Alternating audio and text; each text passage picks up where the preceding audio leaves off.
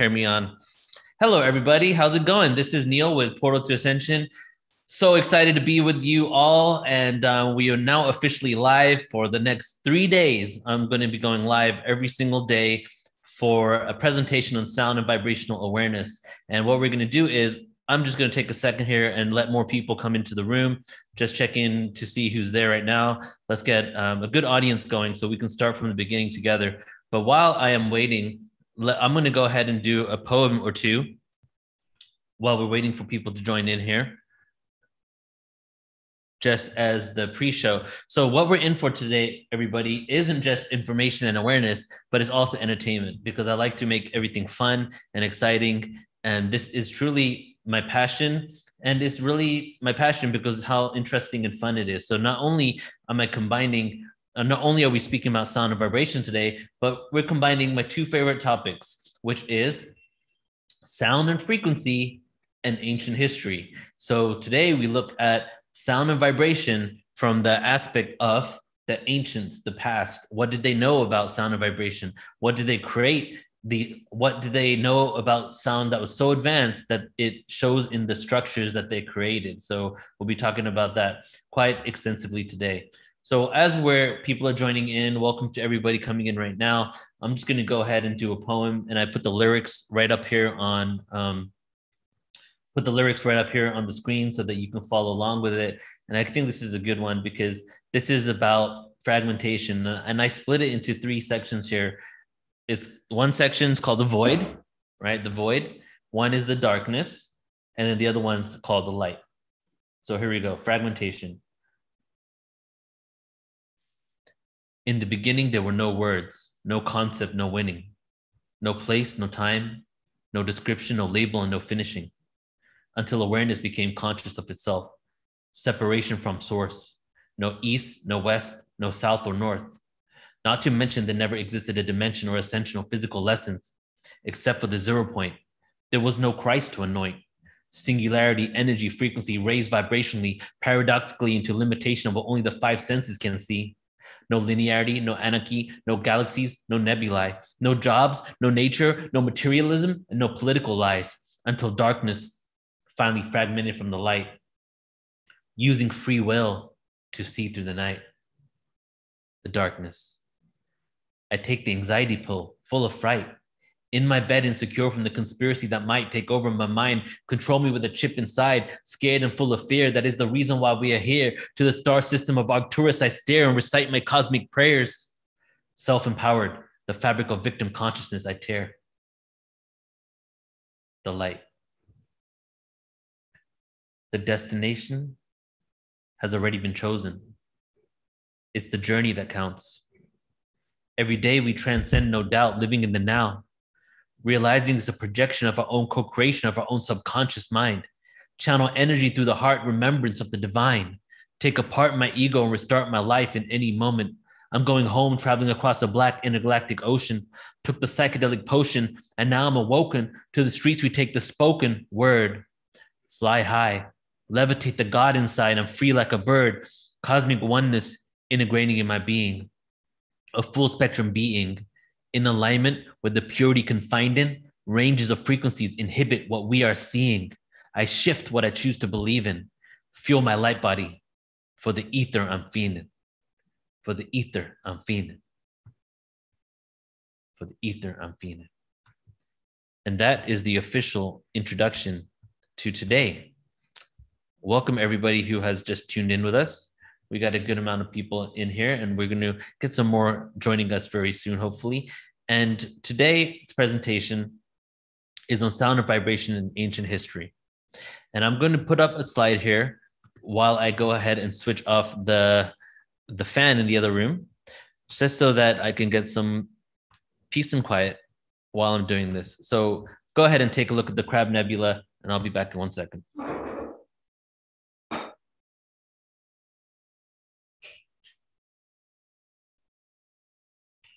Think I maybe, no, I didn't share. Okay. Anyways, I am back.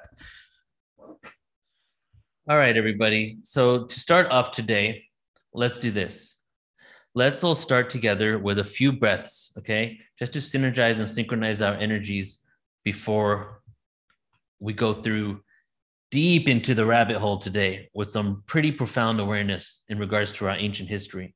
So I want to invite everybody now just to get comfortable and relax. take a few breaths.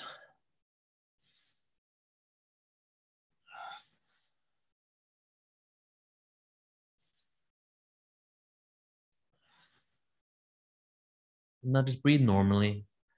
And now we're going to take three breaths together. So on the next inhale, take a deep breath in, all of us together. And then exhale it through your mouth.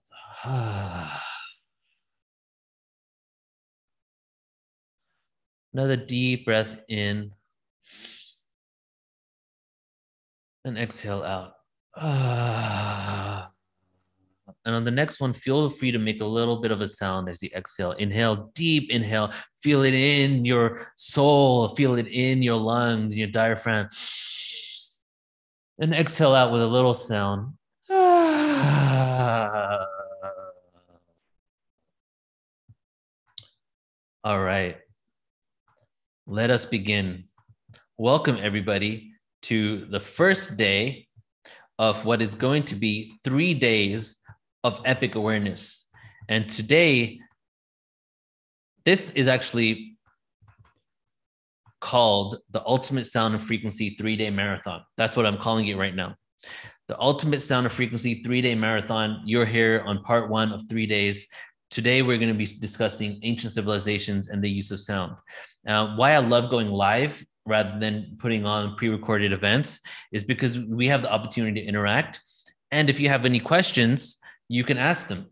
So if you have questions at any point, I'm going to take some breaks during this and take a look at the chat, see what you're saying, and integrate it into this presentation here. If you've checked out some of my um, past sound healing events before, there's a lot of similar information, there's a lot of different information. So just take this as a whole and really do interact because that's what I want from this. The reason why I'm going live right now is because I want to have some interaction with you all about these concepts and I'll also tell you in a second here, you know, my real intention is to get some of you to submit some stories to be a part of my book on sound and vibration. That's my secret agenda that I have for you. I want you to be in my book on sound and vibration and submit your story on sound. And I'll tell you about that later. But what I'm going to do is I'm going to give you a lot of information and awareness. And then hopefully it sparks something within you that makes you be like, whoa, I've had an experience like that. Well, I didn't even realize that this was sound and that actually affected me like this. And not only will it benefit your life and add perspective to your awareness, but you may also want to share your story and be in my book and be a published author. I need 25 people to be in my book. So let us begin. Welcome to the Ultimate Sound and Frequency webinar. And before we officially start with the slides, I'm going to play the video of me inviting you to be a part of this book just so that you know you know that you have the opportunity to, to actually share your story as well. So let me just make sure my sound is selected here. All right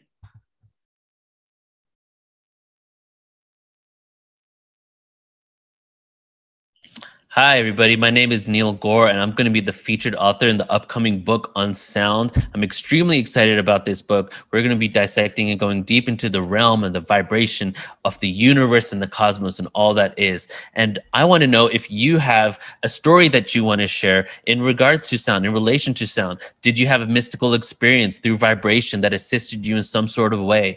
Did you ever visit an ancient site or a temple and experience sound and harmonics firsthand. So, how has sound affected you? So, this right here is an invitation for you to please do share your stories so that we can create this amazing book on sound and not only create a fully encompassing book on what sound and vibration is, but go into what the experience is on the individual level. And the if you want to know more about that in particular, it's actually not only pinned in the comments on YouTube, but it's also in the description. So if you are interested in submitting your stories, obviously there's going to be thousand plus people watching this. Not everybody's going to submit their stories, but um, if you want to submit your experience and do like an 800 word article for me on sound, please do. It's in the description here. You can see, boom, it's in the comments. And this is my page on sound where you can check the submission guidelines and you can actually right there, click and submit your stories. And that's what the link in the description and the comments go. And here's my smiley face. And you can learn more about it. All right, so that's that.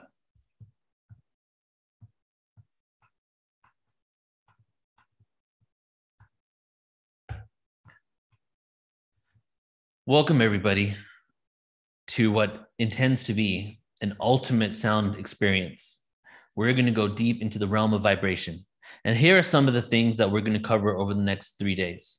There's going to be lots more than this. This is just kind of like, kind of like just summarizing some of the components. Okay. So we're going to be talking about sound frequency used utilizing ancient civilizations, right? What did they know about sound? How did they know this information? We're going to introduce you to sound healing instruments and toning. Also, speaking about chanting, experiencing and meditation practices. So even today, I'm going to talk about the history of chakras, what chakras are, because this is ancient civilization. So all components com- that came from ancient history, including vocal toning um, and um, chakras, are also going to be a part of today's experience. And then starting tomorrow is going to be sound, the science of sound and frequency. Okay, misinformation also regarding sound and frequency awareness so that we really can use our discernment and sort through all of the stuff that is out there because there is a lot of people making claims without any actual backing or evidence. We're going to talk about psychedelics and frequency because guess what? All things are sound, everything is vibration. Even psychedelics have a frequency effect because we're not just talking about sound, we're not just talking about vibration we're really talking about frequency and many frequencies you can't even hear. So it's a sound but it's inaudible right? And then one of my favorite topics extraterrestrials and sound and frequency. That's going to be there tomorrow as well. And ultimately the whole reason why i'm doing this in the first place what does this mean for our future? Why are we talking about this? What can we do with this information? How can we better our lives and how can we help the world out just by understanding all of this This quote right here truly says it all when it comes to why I even want to do a presentation on sound in the first place. The forms of snowflakes and faces of flowers may take on their shape because they are responding to some sound in nature. Likewise, it is possible that crystals, plants, and human beings may be in some way music that has taken on visible form. This quote really says it all we know that snowflakes and flowers are taking on this shape because of some sort of frequency that they're responding to in their seeds, in nature, in the wind. So, why would it be any different that human beings, crystals for sure, we can quantify that part, other plants are also music, vibration that has taken on visible form? And as we're going to see, a lot of the ancients believe this as well. Nikola Tesla even said it himself if you want to find the secrets of the universe, think in terms of energy, frequency, and vibration. Before we get into the hardcore facts, if you will, let's lay down some ground rules. Because by understanding these ground rules, all of a sudden we can open up to all of this information about that ancient history and how it makes sense. Because to me, you know, I'm I feel like I'm a healthy skeptic in in that aspect that I really do like to join the linear world with the creative world. And also, you know, the creative world, the energetic world, the spiritual world isn't something that is separate from the linear world. They both coexist, except the linear world is what we use to explain everything else consciousness, you know, the things that aren't even linear. But because the consciousness and energy and all that is real, we can and we are coming to a point where our linear sciences are now proving that this to be the case that this world energy exists vibration exists everything vibrates. So here are the ground rules okay? We are vibratory energy beings. Okay yep. On the subatomic level it has now been proven that you and i we vibrate. Our on the subatomic level the subatomic level means everything below the atom. So you and i below the atom is just pure energy vibrating. Next fact our brains produce electricity. Well, that is true. There is an electrical current that our brain creates. And we'll show that when I get to the physiology of the human body in just a few slides from now. Your brain creates this energy, this frequency, and this frequency with this acid in your brain creates this frequency, and this electrical current goes down your spinal co- column to your nervous system and then pumps all of your organs in your body. Every organ in your body is responding and awake and active because of the low level of electric electrical current that your brain is creating and sending down your spinal column. Vibration of frequency is measured in hertz. On Earth, at this time in our evolution, we we quantify frequency by hertz, meaning how many times per second. okay, how many times per second? So if you have 100 hertz, it's 100 times per second. The universe is singing, and we'll get to that later. I won't go into details now, but that's a ground fact too, meaning it vibrates. Humans have definitely been on Earth for thousands of years more than widely accepted. Too many, too many pieces of information, evidence are coming out that paint an archaeological timeline for humanity or a historical timeline for humanity that goes against what we've conventionally been told. 40 to 50% of all of our events on Portal to Ascension are really about redefining the timeline. So that's pretty much a given. Göbekli Tepe, the evidence of uh, Atlantis, the fact that the Sphinx is much older than we've been told, and pre-dynastic Egypt goes back into a time where we were told that we were primitive beings. So this is the case, and geological studies and more are proving it to be. But why did I choose sound? This is very symbolic here today because when I first woke up, part of what I first realized was quantum physics, right? Now, quantum physics has an agenda to it when it comes to mainstream conventional quantum physics. And part of that agenda is why it's still called quantum theory. But quantum physics, in regards to the study of the subatomic world, not a part of the actual field of study, even though there are overlaps, really was my introduction to spirituality. But the way I got into it was understanding how extraterrestrials and the um, extraterrestrials were vibrating at different frequencies. And a lot of ancient scriptures were talking about wormholes dimensions you know traveling interdimensionally. And this was all frequency. So understanding the subatomic world and realizing that was a linear science that was true made me understand the spiritual component and get into the ancient history. And then when i started doing that very soon i became a sound practitioner doing events with sound tools tibetan bowls did didgeridoos all instruments that i'm going to go over today so it's very symbolic for me to be doing an event on sound or even speaking about it because it really was my foundation into this understanding. Plus, today, guys, is my first day of my 39th year of life. Yesterday was my birthday. And um, so I did. I'm doing this event for many reasons. I want to tell you guys about the sound book. I want you to be a part of it. I want to put this information out there, and it's also an affirmation to me as I begin my 39th year of life after having a pretty freaking hectic last six months. Let's say that um, uh, it's just a validation and an affirmation that I'm creating for myself in regards to you know why I'm doing this information in the first place. So I'm putting out a lot of awareness just to kind of like really solidify that energy. So I feel that it's a very symbolic moment just to be here with all of you presenting on this today. So, why sound?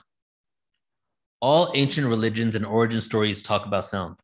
So, that's one of the reasons. If, well, all the ones that I went through, maybe there are some that don't, right? But if so many ancient stories are talking about vibration and sound in the beginning of it all, then why why not research why they even say that? The universe is full of frequency. Everything vibrates. That's why we only hear and see a limited frequency range. And there's countless inaudible frequencies around us always. So if this is the case, my curiosity is piqued. I want to know why we only see a limited frequency range, what's beyond those frequency ranges, and if there's inaudible frequencies around us, I'll give you an example. Let's just talk about the ones that we use radio waves, ultrasound, right? Those are all frequencies. And we are actually using them, but we can't even perceive them. And as I said, when I first got into this, I became a sound practitioner. So it, I feel it's very important to at least give some credit to the sound healing community and industry, right? And the people doing sound healing events. So a lot of you probably have heard of what sound healing is, but let me just go over it anyway. Well, like adjusting a piano or tuning a guitar, your body can also be tuned. There are ancient instruments and also now modern instruments we're creating as well to heal and align humanity. Utilizing sound tools will instantly alter your body's biochemistry. It can align your chakras, can align your emotional, physical, and spiritual bodies. And there's been all types of testimonials. And hopefully you have some of these testimonials and want to actually contribute them and quite 800 words for me so I can add it to my book.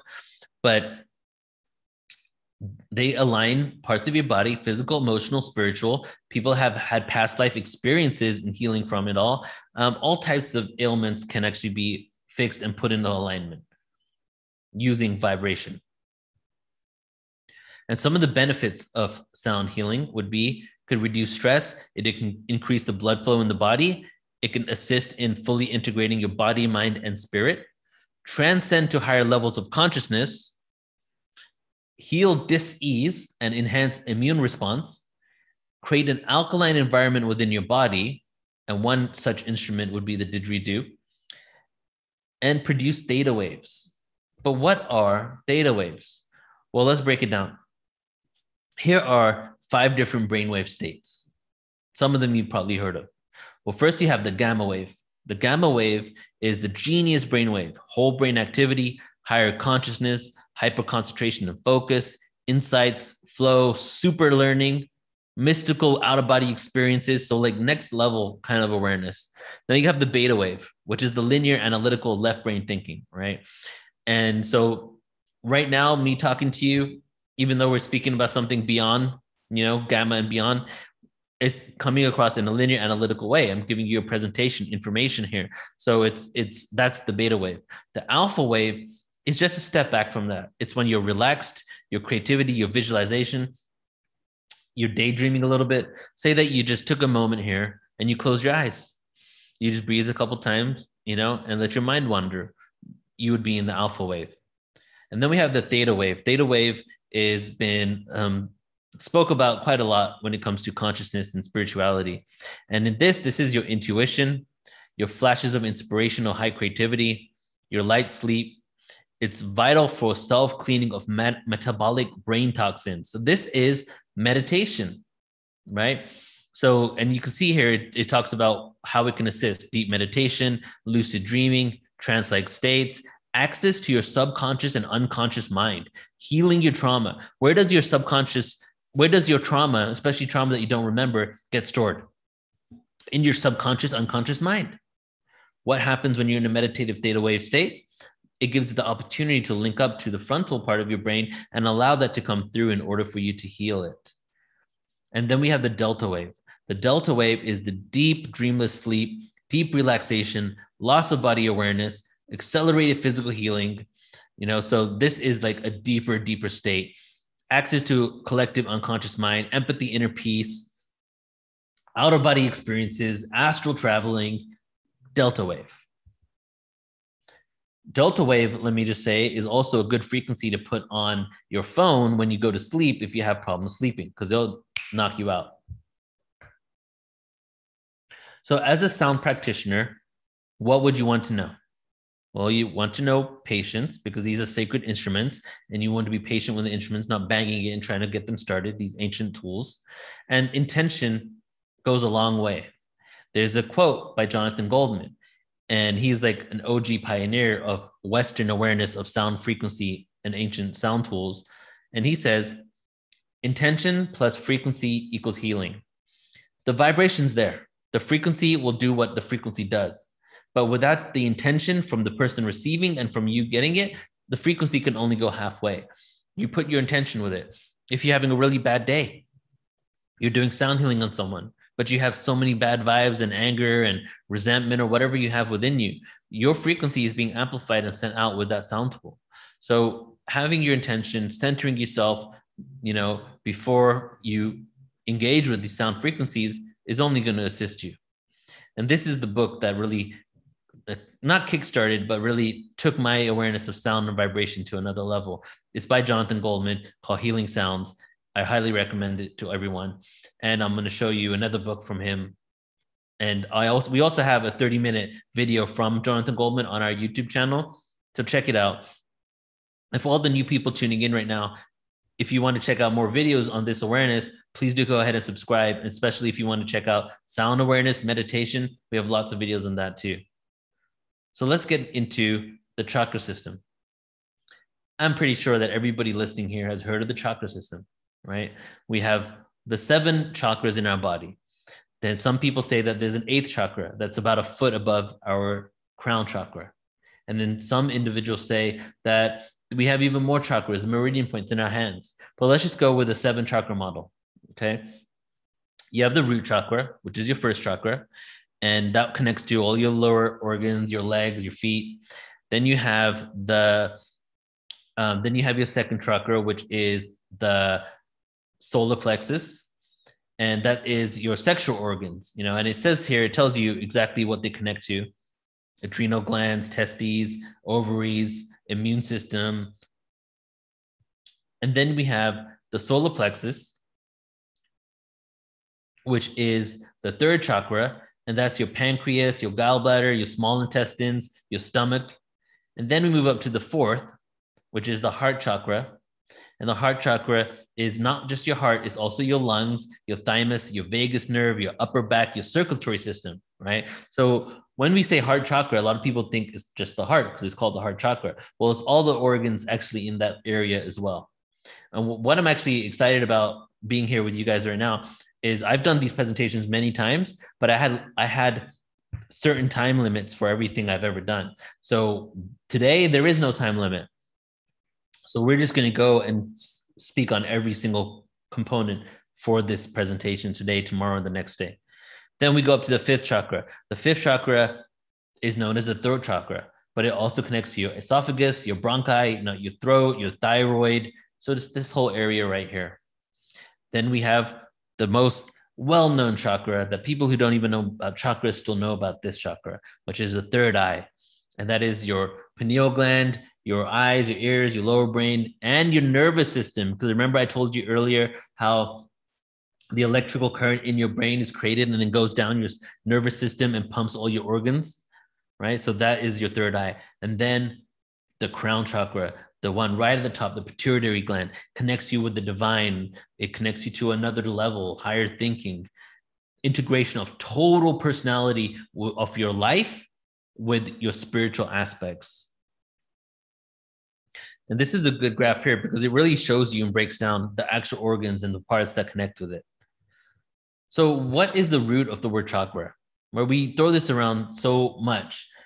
I was raised Hindu, and you know how the Hindu text on the Upanishads actually in 100 BC to 300 AD was the first time, well, one of the first times, actually the first time, taking a pause here, that we hear about the chakra system was around 1500 to 1000 BCE. Okay. Then we see it again around 1500 years later in 100 BCE to 300 CE. And the term chakra, I was born and raised Hindu, but every single person that I, I was around a lot of Indian people, right? My whole childhood, up until the time I could go and do my own thing. I was going to Indian events, temple stuff. Not once did anybody talk about chakras, right? Even though it was such a huge component to it. But we hear that term a lot when it comes to evolution of consciousness. So, what is this? The chakras were originally known as kakras, there was no H, and can be found in the early Vedic text, the Rig Veda, believed to have originated around 1500 to 100 BCE, depending on who you ask, because some people say, oh, it's thousands of years older than that. But it looks like the information was definitely thousands of years older, but it was passed down verbally and probably written down, maybe not for the first time, but definitely written down in a place that we've now rediscovered about 1500 years BCE. Kakra, as it appears in the Rig Veda, simply means wheel, disc, or circular. That's what chakra means in Sanskrit. When I first heard about chakras, I just thought that they were metaphysical energy centers, metaphysical points of energy in our body, seven of them, and the energy flows out of there. It's like some other dimensional world until I came across this graph here. And this showed me that actually there are areas in our spine. So let's just hopefully you can see my cursor here. You see these outpour of nerves in every area. Let's this one right here. There's one right here. There's one right here, one right here, one right here, one right here. Well, there are actually areas in our spine called the neural foramen that are the exact areas that the chakras are located. So the chakras, guys, are not metaphysical energy centers. They're physical areas that exist that probably that definitely connect to spiritual metaphysical energy centers, but they're actually physically in our spine. So let's just track this here, okay? So we have our brain. Our brain is producing this electrical current with this form of acid that's in our brain. The electrical current goes down into the nervous system and sends electrical frequencies to each part where the neural foramens are, pumping every organ in our body, giving it the electrical current needed to exist. Just like a car battery, just like a regular, any type of battery. Our brain is the battery, the electrical current are the wires, right? Of, of, of the outlet. Or like, let's see, um, yeah, just the electrical current flows down, goes through the wires, which are our nervous system, and then it goes to every organ and pumps. You may have heard the term that they don't consider you dead, passed away, transitioned, right? Unless you are brain dead. Why is that? Well, when the brain stops functioning, the electrical current no longer goes through our brain, through our nervous system. When the electrical current no longer goes through our nervous system, then not only is our consciousness gone because it's not pumping anymore, but all the organs in your body cease to ex- cease to be able to function as well. Because if the organs in your body don't get doesn't get the electrical current that it needs, it's not going to continue working. So the neural foramen is the opening between every two vertebrae where the nerve roots exit the spine. The nerve root travels through the reach to the rest of your body. Without the foramen, nerve signals could not travel to and from the brain and to the rest of your body. Without nerve signals, your body would not be able to function. There we go. All right. Now we've got all that out of the way. Now we're about to go into the ancient past and go on an epic journey to these ancient civilizations. But I'm going to take a moment here and I want to take a look at the chat, see how you guys are doing, if you have any comments or questions or in this point. All right, you guys look like you're good. Okay, going back here yeah, leave any if you have any comments, any questions, please go ahead and just let them know. Um, okay, divine essence. Wow, I never knew that about the chakras. First time someone mentioned that. Yeah. So to me, this became such a reality because of my physical, my need for understanding everything linearly in the beginning. I would do. It's really hard just to tell me something and me to be like, oh yeah, this is true, right? Um, but when I start realizing that I can actually prove it, and there are people that just accept it for what it is and that's their path and that's what their lessons are to people. My lesson and my experience to people is to show people who maybe don't realize it that this is is actually a science that these are actually real areas and this is actually occurring that we do have these energy centers and the ancients knew about it. So let's get back to this presentation.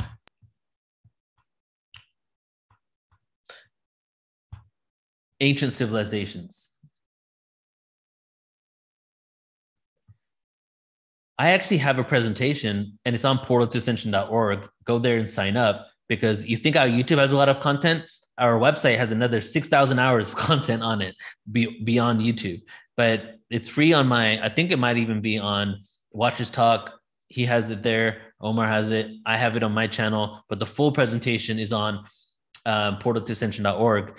And it was creation stories of ancient civilizations. Okay. Creation stories of ancient civilizations. I went through 300 different stories on ancient civilizations, and almost all of them spoke about sound and frequency. Even the ones where you thought, like, wait a second, this is maybe not talking about sound. But then when you read a little deeper and you start um, um, dissecting the metaphors, you realize that it actually had to do with sound. And let's go through some of them right now. So, sound in creation stories. Many creation myths, or maybe the true, begin with God speaking or, si- or singing the universe into being. That's a very common thread. Well, we have conventional science, right? a lot of people don't realize that the term for the origin of the universe is actually based on, si- on sound. Why do they call it the Big Bang? They don't call it an explosion. They literally call it by what sound it made, the Big Bang, because they also agree conventionally that everything started with vibration. An infinite singularity burst into infinite potentiality and opportunity, and it made this sound. But it doesn't even have to be an actual tangible sound that you could hear, but it made a vibration. And a vibration, we're talking in terms of it being a sound. The Egyptians, uh, the land of Kemet, they called and said the universe was sung into creation. See that very, very often. And then Hinduism, we have Om and the seed sound for each chakra. So Om, and some people are saying, is the 432 hertz A, and each chakra sounds to the um, has a correlating sound frequency of that chakra.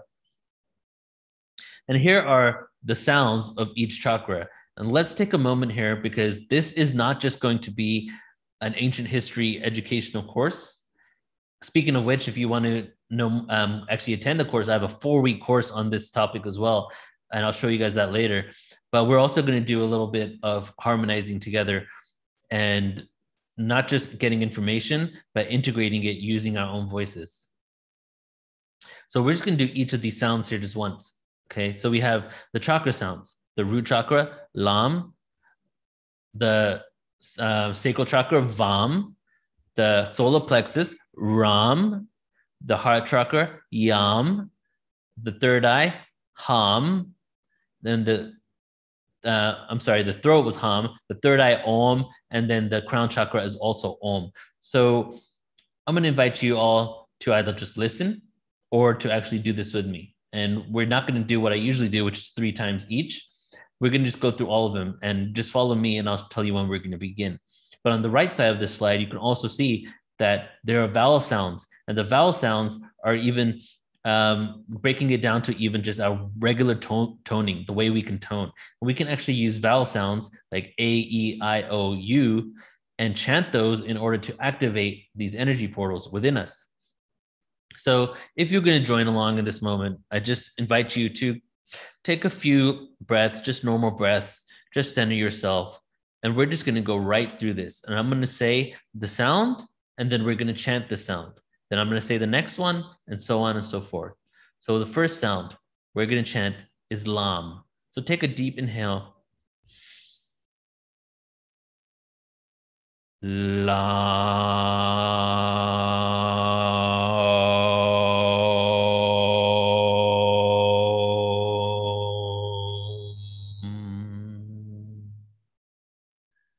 Activate the solar plexus, the sacral, VAM. Inhale, VAM. VAM.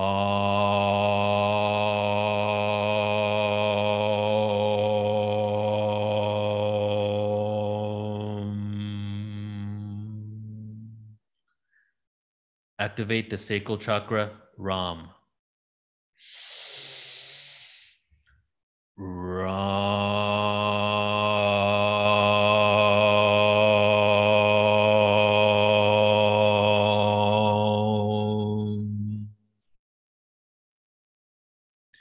Activate your heart chakra. Yam.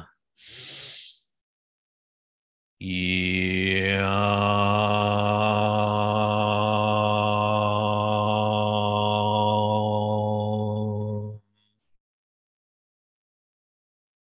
Activate your throat chakra. Hum. Hum.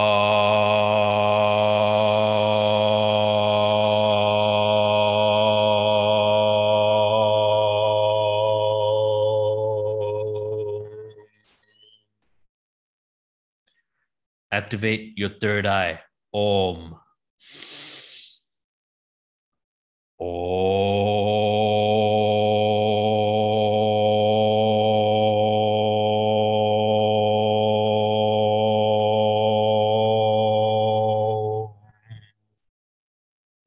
Activate your crown chakra. Om.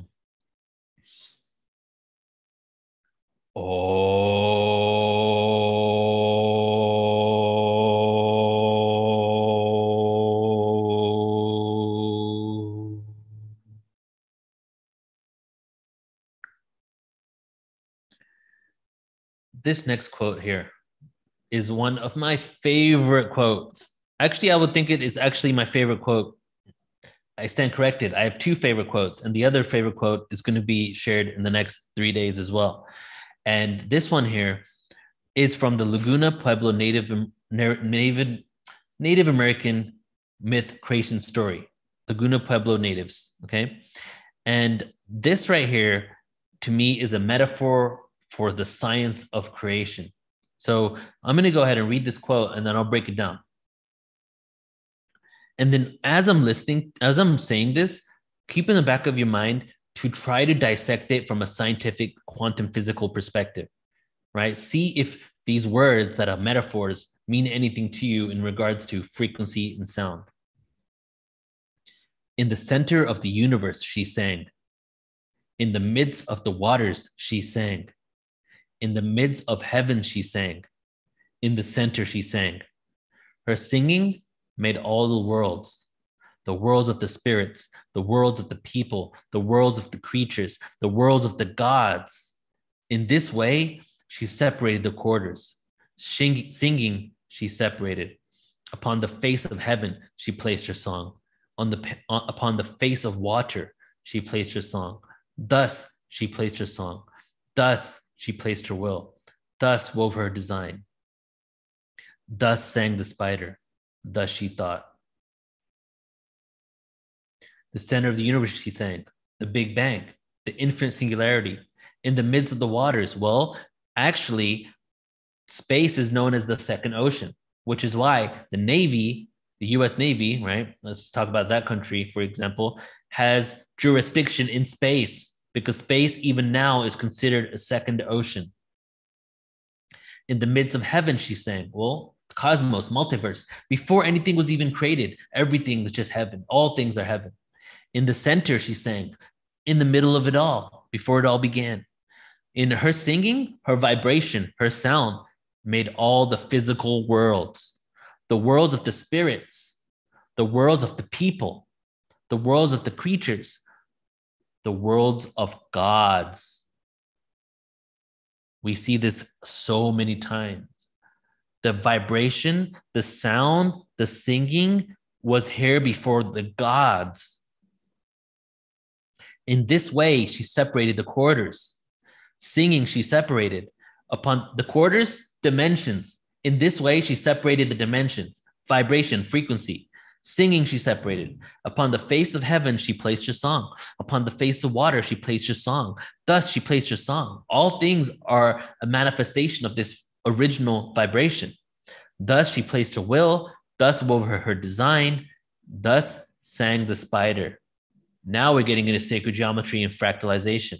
When you see the spider being used in origin stories, it's talking about the spider web and is talking about the fractalizations of how galaxies are created, Fibonacci spirals, and all of this. So you can see we started from the Big Bang, the original vibration and sound that came from all that is. And then we get into fractalization and fragmentation. The dimensions were created from the same frequency. Everything is a part of the same frequency. All things that we think are separate from us are all part of the same frequency. And thus, the spider continued to create a fractal. And why did this happen? Well, why are we here in the first place? Source wanted to experience itself. Thus, she thought. Thus, Source thought. How I want to experience myself in multiple forms, in multiple variations, even though truly I'm just this one vibrational frequency. How amazing. And the question now lies what did they know? How did they know this? How did they create such poetry out of something so scientific? Even the Australian Aborigines, they speak of the three sacred songs the song paths sung by the primordial ancestor spirits, who walked across their landscape, singing its landforms into being. We have the six days of creation, the six, six aspects of Om, the six solfeggio tones, the six aspects of the all seeing eye of Horus. And then a quote. A very familiar quote that you probably actually never heard of because it's from another text, not the one that you might be thinking. In the beginning was Brahman, whom was the Word, and the word is Brahman, the Krishna Yajurveda, ancient Indian text. predating um, um, Judaic, Christian texts. What does that sound like? Well, of course, in the beginning was the Word, and the Word was God. That's from the Bible, right? The Old Testament, John 1 1. What does it say? Let's break that down. And what we're doing here is giving you context. What I did was I showed you about um, the universal facts. We went into some tools and what sound healing is and what we're doing now with it and how these are ancient tools. Now we're talking about ancient texts and the creation stories and how they had an awareness and sound. And now, very soon, we're going to get into the actual ancient sites and what kind of awareness are embedded in these ancient sites when it comes to sound and frequency. And we are also live on Instagram right now. So whoever's joining in on Instagram, if you want to check on the YouTube, go to youtube.com slash portal to ascension, and you can join in here on the actual live chat on YouTube. Okay, so breaking this down, John 1 1.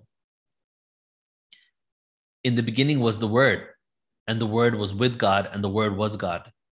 Well, what is the Word? The Word, of course, is sound, the vibration, the sound. The Word was the Word was with God, and the Word was also God. Well, isn't that very interesting? Because something that I love talking about is how everything is paradoxical in the universe, in creation. And here we have the first paradox. Even this reality was created paradoxically. Not only in the beginning was the Word before anything else, but the Word was with God, whatever God is, source, creation, at the same time. But the word was also source and creation. So that kind of goes hand in hand with we're all one, but we're also see ourselves as individualized beings. He was with God in the beginning. This is where some people mistranslate. Oh, he, God, is just talking about Jesus or God. Well, he was with God in the beginning. What are we talking about here? We're talking about the word, the sound. The sound was with God in the beginning. Through sound, all things were made. Without sound, nothing was made that has been made. In sound was life, and that life was the light of all mankind. The light shines in the darkness, and the darkness has not overcome it. That so as you can see, sound all over this, right? And then the last part is really interesting. The light shines in the darkness, and the darkness has not overcome it the light and the darkness coexist. Now we're moving forward and we're getting to the next level of this awareness, building up here. Ancient Egypt. Let's go ahead and talk about ancient Egypt. And what I'll do is I'm going to talk about ancient Egypt and then I'm going to pause and look at the chat. So if you have any questions or comments up until now, go ahead and leave them in the chat. But over the next 10, probably 20 minutes, I would think we're going to be into Egyptian awareness. Leave your questions in the chat and I'll go ahead and take a look at them or comments even, or if you just want to add some input here, we'll take a look at it after this segment. So ancient Egypt. Firstly, let's go ahead and show this video of Robert Schoch, who this is at my Portal to Ascension conference, the first conference I did on port. Well, the first one I did called Portal to Ascension. I've done hundreds of conferences, but this one was in 2018 in Irvine, California. Um, Robert Schoch was there presenting. And a little plug for our October 2022 conference. We're going to be in San Diego, California. Robert Schoch will also be there as well. Uh, October 7th, 8th, and 9th, 2022, which is what, like uh, 11 months from now, plus or minus a few days. We're going to be doing our sixth annual Portal to Ascension conference there. And in this one, Robert Schoch breaks down why the Sphinx is older than we've been told. And uh, study the actually, Sphinx. Robert Schoch is, you know, you probably heard that the Sphinx is older. Robert Schoch is the key researcher and the geologist that really started this theory and started exploring it. You know, other people have uh, worked with him as well, some well known, some not so no- well known, but he's really been the one pushing this awareness out. And thanks to him, we're really discovering that Egypt seems to be around, well, some of the structures in Egypt seem to be at least 10,000 years older than what we have been told. So Robert, what do you have to say for us? my young me. And what we found is that we had uneven weathering around the Sphinx. What this suggests, doesn't just suggest, I mean, it's very evident to me. The Sphinx was actually carved out initially on three sides. Then it was later fully carved in the back. This level of weathering, which is much more shallow in the back, is compatible with and compares well with the subsurface mineralogical changes, so that's what I'm talking about when I'm talking about subsurface weathering, that we have for other Old Kingdom, dynastic, Fourth Dynasty tombs and structures that are supposedly contemporaneous with the original Sphinx. Does everyone follow? The fact that you have much, much deeper weathering around the other three sites indicates that this was carved out earlier. The body was carved out earlier. And actually, what happens when you look there is that initially, you see how you have the older weathering here? The Sphinx was only carved down to this point approximately initially, so it emerged out of the bedrock, and then I believe in the fourth dynasty, about 2500 BC, they were not carving the Sphinx originally, they were recarving parts of it, including the head, sometime in dynastic times, along the back, etc. So initially, the Sphinx actually emerged from the bedrock, which is interesting because in the age of Leo, about 10,000 BC, when the Sphinx, the Sphinx sits due east, at that time in the age of Leo, what rose on the horizon due east on the vernal equinox? The constellation Leo. And when you view it from this vantage point, arguably it rises that way with the rump. You see how the rump sort of attaches to the horizon initially as it comes up. Now, I am not basing my dating on Leo and when Leo rose, but I think it's interesting that it's compatible and seems to tie in with my dating. My dating currently for the core portion of the Sphinx, the core body of the Sphinx, is about 10,000 BC. Why? What I've done is calibrate how quickly or slowly, I should say, the subsurface weathering will take place. So it's really based, my, the core dating for me is based primarily on the seismic evidence and calibrating that. And you can read about that if you want to in Origins of the Sphinx. I'll show a picture of that book in shortly and I'm not pushy, I'm just saying that's where you get more information on this, but it ties in and seems to be corroborated by a number of other lines of evidence, including that we might be talking about the age of Leo. So we did other work. This is uh, another seismic map. This is showing structures under the Sphinx. This is, we were not looking for structures under the Sphinx. I was actually looking for subsurface mineralogical changes, weathering. But we found some structures. We found a chamber or cavity under the rump here. It turns out the ancient, the ancient Egyptians, the modern Egyptologists knew about that. Um, we didn't know about when we found it, but they said they knew about, so that confirmed that the seismic work was good. We also found sort of a linear feature here, which is probably, I think, a collapsed tunnel type feature. But most importantly, we found a chamber under the left paw. You see the, this is the map of the Sphinx. So you're looking down on it, and this is her left paw. Everyone see? You can watch that full presentation, which is like an hour and a half long on portaltoascension.org. Um, you know, sign up there and take a look at it.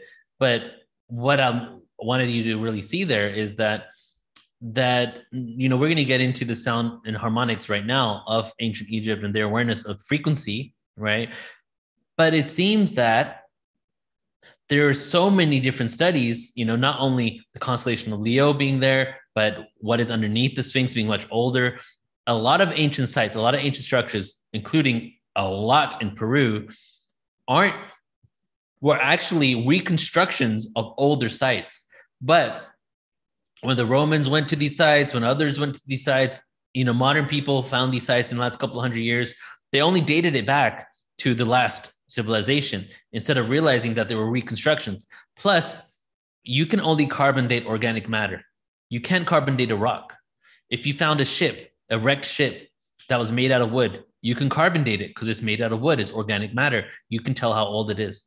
But if it's a rock or a limestone, the only thing you can rely on is if there's any text there. Uh, but even that doesn't even tell you the truth because the text could be there from the last people that left it maybe everything before that was wiped out. So a lot of people think because we're so advanced with sciences, as soon as mainstream science says, "Oh, pre-dynastic Egypt, 3000 BC," everybody's like, "Oh yeah, of course, these guys are scientists. They must know, right?" But science is now proving that's not the case. Geology is a science too, and through that, we're realizing that it's actually incorrect. Now there is a documentary. A lot of people post on social media tell me some things to watch on Netflix, and I'm going to tell you one right now. Add it to your watch list. It's called The Pyramid Code. It's around five, I think it's five episodes long. And, you know, Robert Schoch's in there, Robert Bauval, John Anthony West, a lot of amazing people. And in this, they really show you a lot of information in regards to pyramids and just, you know, around the world, really, but definitely a lot to do with Egypt that will just blow your mind you know, for example, every single rock added in the um, one of the pyramids on the Giza plateau is the same distance, light years to like the Sirian constellation. It was very interesting. But in there, there is this one thing that really blew my mind. so on the Giza plateau, they have now found that underneath the pyramids, there are aqueducts, aqueducts underneath these pyramids. So you're looking at this this image here, and where this line is, this little rod right here, this big rod, there's aqueducts over there. Now, through geological studies, they track back where the Nile River used to be in ancient times in Egypt. They found out that from the references in ancient Egyptian hieroglyphs and more, that the amount of years that that Nile River was in that position 12,500 around 11,900 to 12,500 years ago the end of the last ice age. The same dating that Robert Schoch just gave us for the Sphinx. So what would happen is the Nile River during certain seasons would overflow with water the overflow of water would go underneath the pyramids into the aqueducts in the aqueducts there are copper rods like this rod right here. The copper rods would pick up the electrical current that is created by the water flowing into the aqueducts, create an electrical current, and then go right up into the pyramid. When that frequency went from the electrical current into the copper rod into the pyramid, it became an electrical and a sound frequency into hollowed out tubes that made harmonics and vibration within the pyramid. And I'll show you one of those sounds in a moment. So it has been proven now without a reasonable doubt that these structures were masterfully created in a way to emanate and amplify sound frequency vibrations. And they created in such an acoustic way without having to pollute the planet like we're doing right now. So the aqueducts take the water, the water hits the copper rod, electrical current goes up the copper rod, goes out in a hollowed out tubes into the pyramid, changing it into a sound frequency, going into these huge chambers where epic sounds would manifest from. And it's interesting because no matter what frequency comes through those rods, the sound frequency in some of these pyramids, or at least the one that I'm about to show you, the red pyramid, always comes out to be the same frequency every single time, no matter what person chants in there, what frequency goes in there. And that's going to come up in a couple of slides. So we'll get to that in a second. So here are some possibilities, right, of what Egypt, ancient, the land of Kemet, because Egypt, and I need to say this every single time, Egypt is the word that was given by the Greeks when they took control of Egypt, way after the original Egyptians were there. The land of Kem, Kemet, K E M E T. But the original spelling of Kemet was KMT, KMT. The reason why it was KMT is because the vowels were silent. They weren't implemented until many years later. So originally it was Kmt, Kmt, KMT. So there was a 2600 year, 20, 2600 BCE papyrus that states the Great Pyramid of Giza was created in 20 years. Well, there's an issue with that dating because that means the pyramid, since it, create, it, it contains 2.3 million individual blocks of stone, meaning one block would have to be laid every five minutes of every hour. 20, I think I was supposed to be 2.3 million tons. Individual blocks of stone, meaning one block would have to be laid every five minutes, every hour, 24 hours a day for 20 years. The problem with that is each block weighs at least two tons. That's 1,764,000 pounds of stone being laid every day for 20 years. That's a lot. So then that's where all the theorists come in. Did they use levitation? Was there an extraterrestrial connection? I feel, you know, maybe ETs were involved in, in Egypt, and definitely there's a lot of star beings. And I'm going to be doing a conference on Egypt and the extraterrestrial connection next year um, within like six months from now. However, I also think humans were really advanced too. So there definitely could have been some sort of advanced awareness in science. Today, I watched a video um, on the info- infographic channel on YouTube that I like every now and then. And they're like 50 things you didn't know about Egypt. And the whole thing was literally trying to disprove all the stuff that I'm talking about here. And one of it was like, contrary to co- um, popular belief, but um, the Egyptians did use chisels in order to create the pyramids without any evidence. But I've been, I've sat through so many uh, evidence based events and documentaries that show with basic chisels and um, and the pulley system with the logs, it really wouldn't manifest and couldn't have been created in that way. So we don't have to go all the way and say, well, the ETs did it. Humans could have done it, or maybe there was some awareness from an advanced extraterrestrial race or what my theory is the Egyptians were descendants of Atlantis and they already had all this awareness. The Egyptian language also is created. So not only do their structures have a lot to do with sound, vibration, frequency, but the Egyptian language was created in a way to emphasize specific frequencies. Okay, even the way they spoke has something to do with vibration. sound frequency is generated by aqueducts that turn into frequency when entering the pyramid, the one that I showed you. So could this be energy generating devices sending frequencies into the structure and for what purpose? What purpose? Well, these things were energy generating devices. It's pretty much been shown now, but what would they used for? Right? And I'll give you my uh, my speculation on that in a moment here. So could it have been a power plant, maybe? Experiments conducted by Tom Danley in the King's Chamber of the Great Pyramid and in chambers above the King's Chamber suggest that the pyramid was constructed with a sonic purpose. Danley identifies four resonant frequencies or notes that are enhanced by the structure of the pyramid and by the materials used in its construction. The notes start from an F sharp chord, which, according to ancient Egyptian texts, were the harmonic replica of Earth.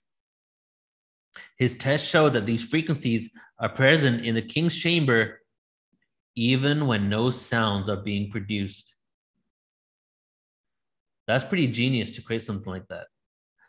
They are their their frequencies range from 16 hertz all the way down to half a hertz, well below the range of human hearing.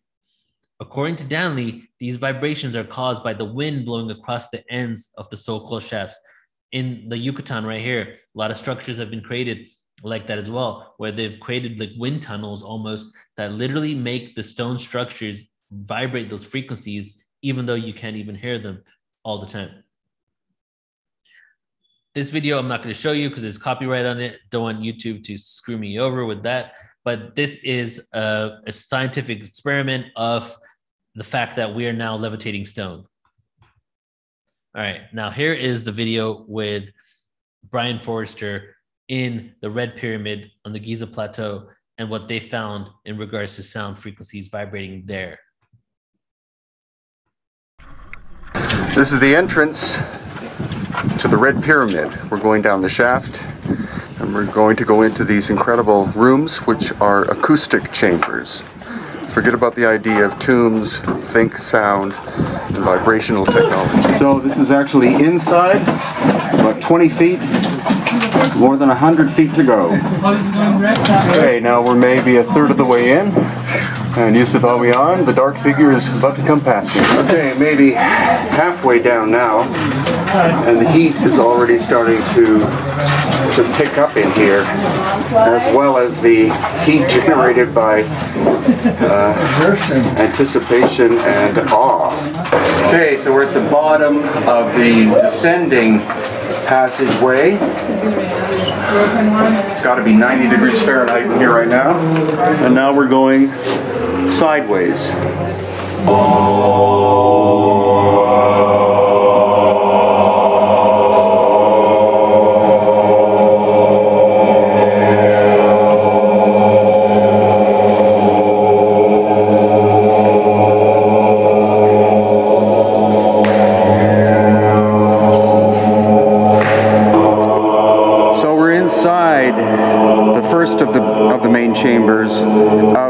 Pyramid, and it is tuned to A.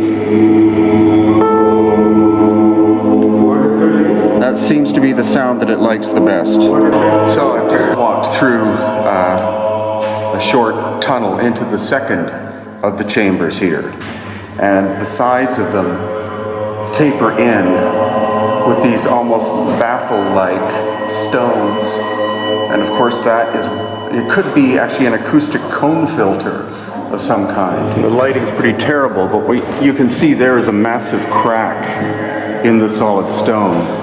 And that's part of the theory, again, that this was an energy generating device, as were some of the others of the pyramids on the Giza Plateau and that they actually became overloaded at one point, partially exploded, and then shut down. And as hard as it may be imagined to believe, we could be talking about that explosion occurring about 12,000 years ago at the end of the last ice age. Then There we go. So there's a few things there. No matter what sound, they weren't trying to do an A sound. No matter what chanting sound was happening, A for the third eye, the pineal gland, seemed to always come out. The way the structure is created is that no matter what vibration you put in there, it's created in a way to alter it to create the sounds that it wants. Like the other slide that I showed you, where there was four resonant frequencies in the other pyramid, and it would choose one of those frequencies no matter what vibration you put out there. But specifically in that one, it was coming out with A. So I'm saying A is 432, but we also know A as the third eye vibratory sound. And then the fact that we see that explosion there goes hand in hand with this theory. Humanity was at a higher state of consciousness. We're an evolved state of cycles, right? The Yuga cycles. We were devolving in consciousness. There was a worldwide pyramid structure that created as Atlantis was falling. Pyramids were created all over the world. These pyramids were and structures were put on ley lines in order to harness the natural frequency of the planet to keep Earth at the at a great vibration that could create harmony on Earth. The Earth continued to devolve in consciousness. As Earth was devolving in consciousness, these structures could no longer withstand and exist anymore. A lot of them exploded and stopped working. That right there is the same thing. And then the last thing that Brian said 12,500 years ago. Another another piece of information pointing back to the same day. So now let's get to the A, the third eye. The Egyptians were geniuses. I mean, not only did that structure do what we just saw, but they also created what we know as the Eye of Horus, right? And there's also the Eye of Osiris, which are just an inverted, they're inverted of each other. And the Eye of Horus is actually a cross intersection of the pituitary and the third eye chakra, a gland in our bodies. So if you did a cross intersection of the brain, check it out. They created a symbol of an eye. They created structures that emanated the frequency of this area that could activate it. And they actually made it in a way that looked like what it actually looks like inside of our brain. Incredible.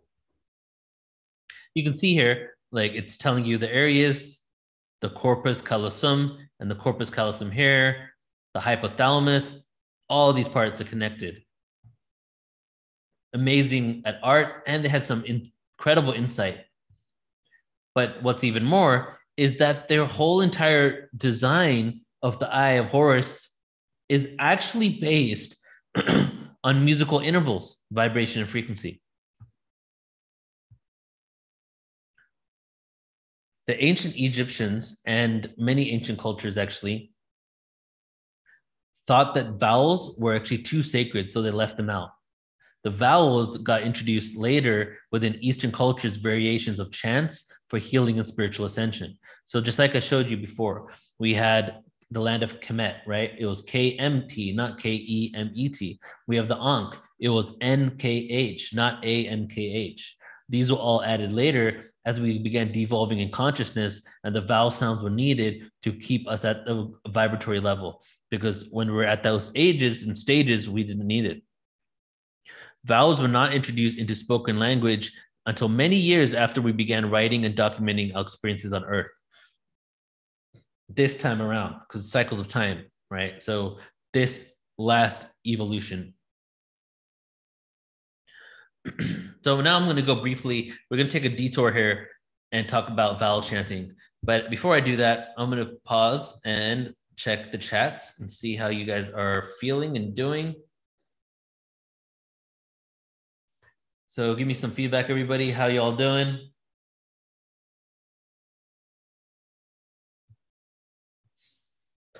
Let's all take a minute now and just breathe a few times, shall we? Integrating a lot right here. And there's a lot of information, and I'm not even halfway. And need to really work on my voice and not lose my voice because a lot of times when I do this, because the ultimate sound frequency presentation, this actual full presentation is four and a half hours long. And I've presented the four and a half hour version of this like four or five times every single time I lose my voice at the end because I'm just like, ah, too much energy, you know? So, so this time I'm not going to do that. I'm going to take it easy and sip some water. Hello, Angela. Welcome. Mafona, welcome. Thank you for being here, guys. All right, all right. Let us continue.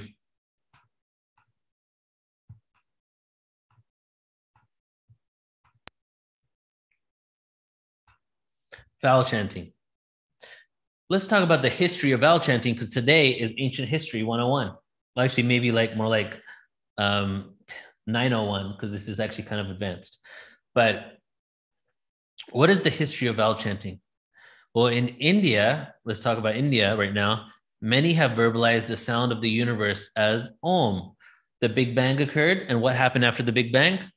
Om, Om, Om, Om, Om, Om, Om, Om, Om. That's where Om comes from, everybody.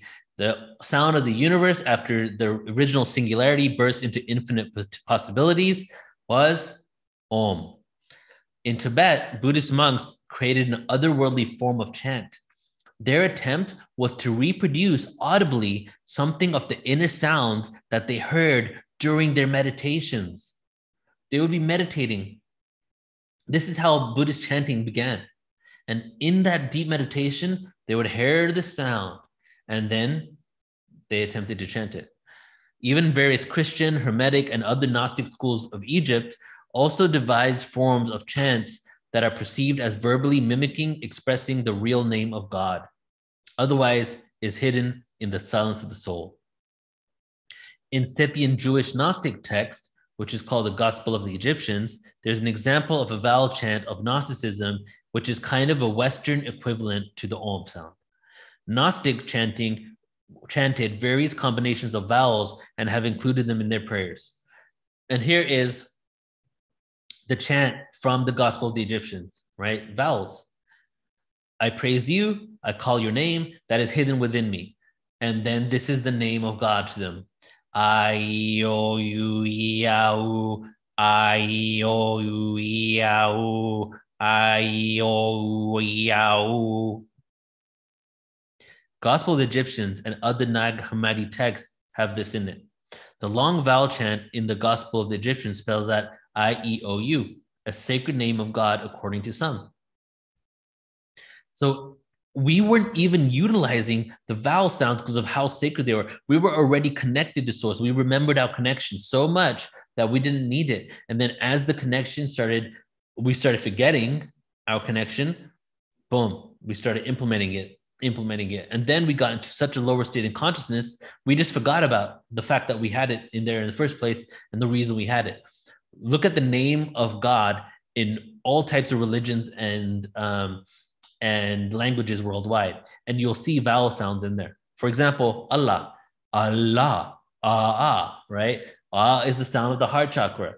So we created these for reasons, for a reason. And as I said earlier, Kemet was KMT, Ankh was NKH until thousands of years later. Vowels introduced into thousands of, year, thousands of years later. Now, here is what I usually do is we chant A E I O U together, but also I love to have interaction. So you tell me, should we chant A E I O U together one time each, or shall we keep moving on? So tell me in the chats right now, shall we chant A E I O U, or shall we not do that? That'll take us like six, seven minutes. Waiting for a response. If I get two yeses, then I'm doing it. Okay, let's do it. Let's do it. Okay, okay. All right. So since this is education and also a workshop, might as well go full throttle with everything, right? So something that we can do, and the way I like to do it is, you know, you have mantras. You have mantras like, for example, and I did this one yesterday. Om Bur Bhava Swaha तत्सर्वितर्वरे नियम देवस्य धीमहि, धियो यो न प्रचोदयात्।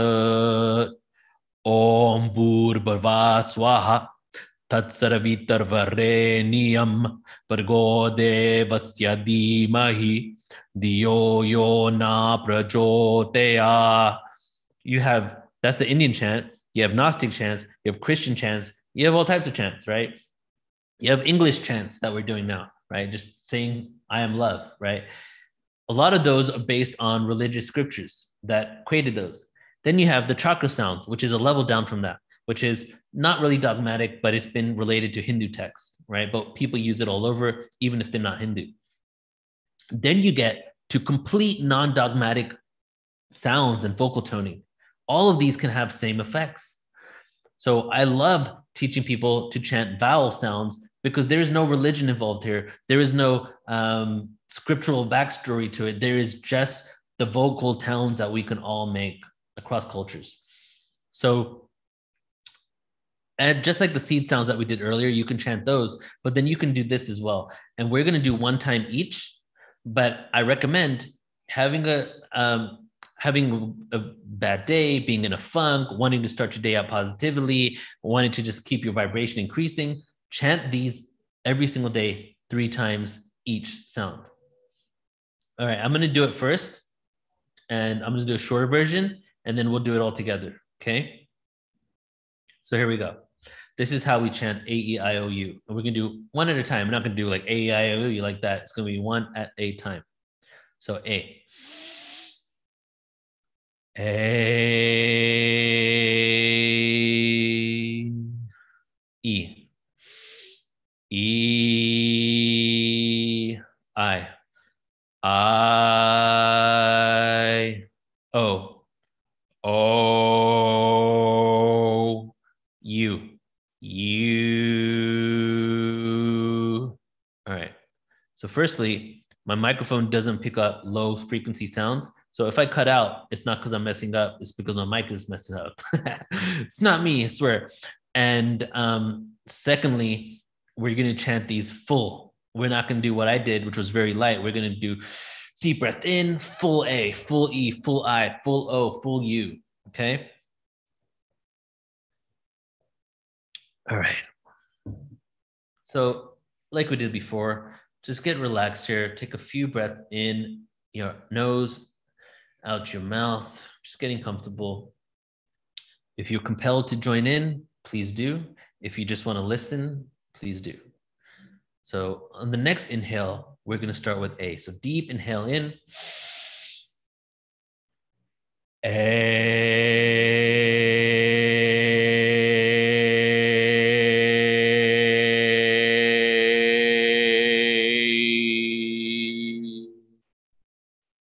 Deep inhale in E. E.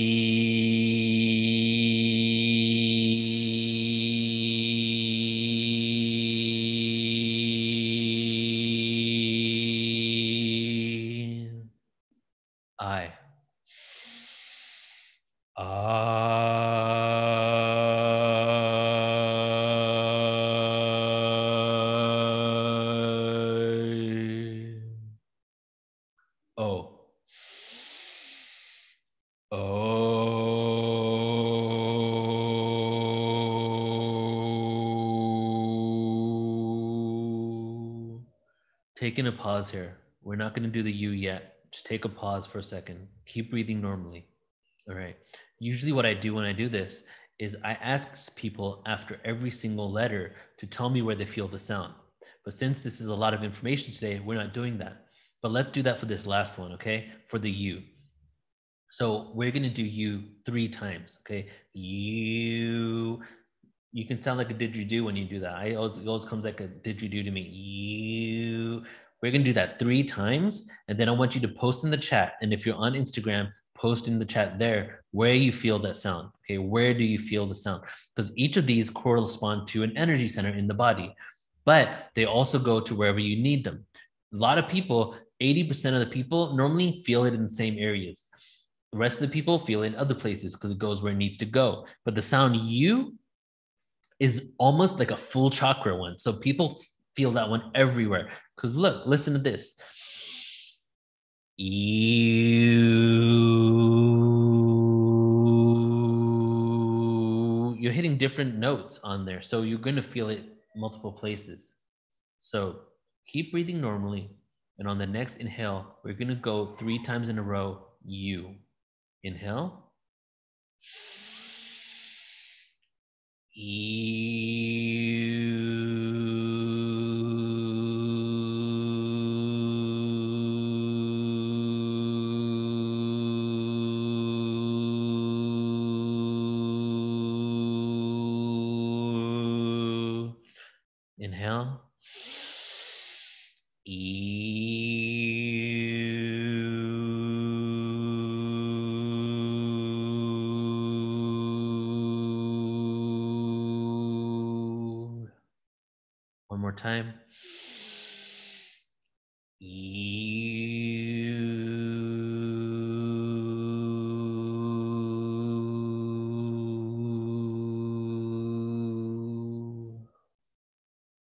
Your eyes and then let me know in the chat where did you feel that vibration? Where did you feel that vibration? And people in IG, where did you guys feel it if you did it? Let's get some feedback here.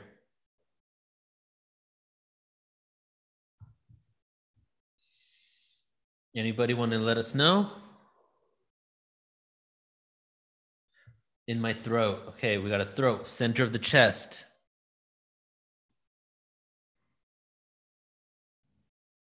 Yep. Upper chest, lower throat.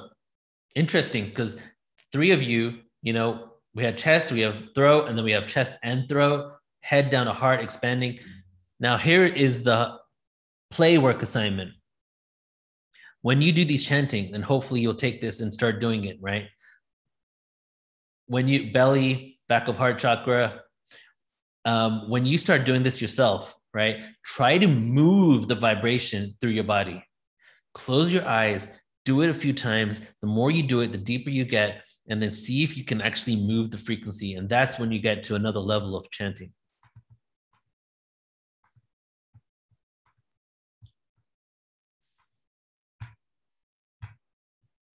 Here's just a graph, real quick. Oh, we have someone on Instagram commented, Yay, psychedelic Dharma says The oscillating between crown and heart. Cool. So we have, okay, we have, this is just for you to use later. Not gonna really, don't really need to go over it, but it's about the chakra sounds and it's about what vowel sound you can use for those chakras. Okay. So that's for you to check back later. Let me tell you something interesting.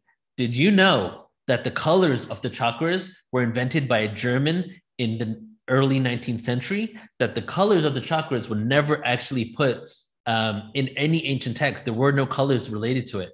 They were created by a Western philosopher from Germany. Um, actually, it might have been Germany and Austria, I forget now.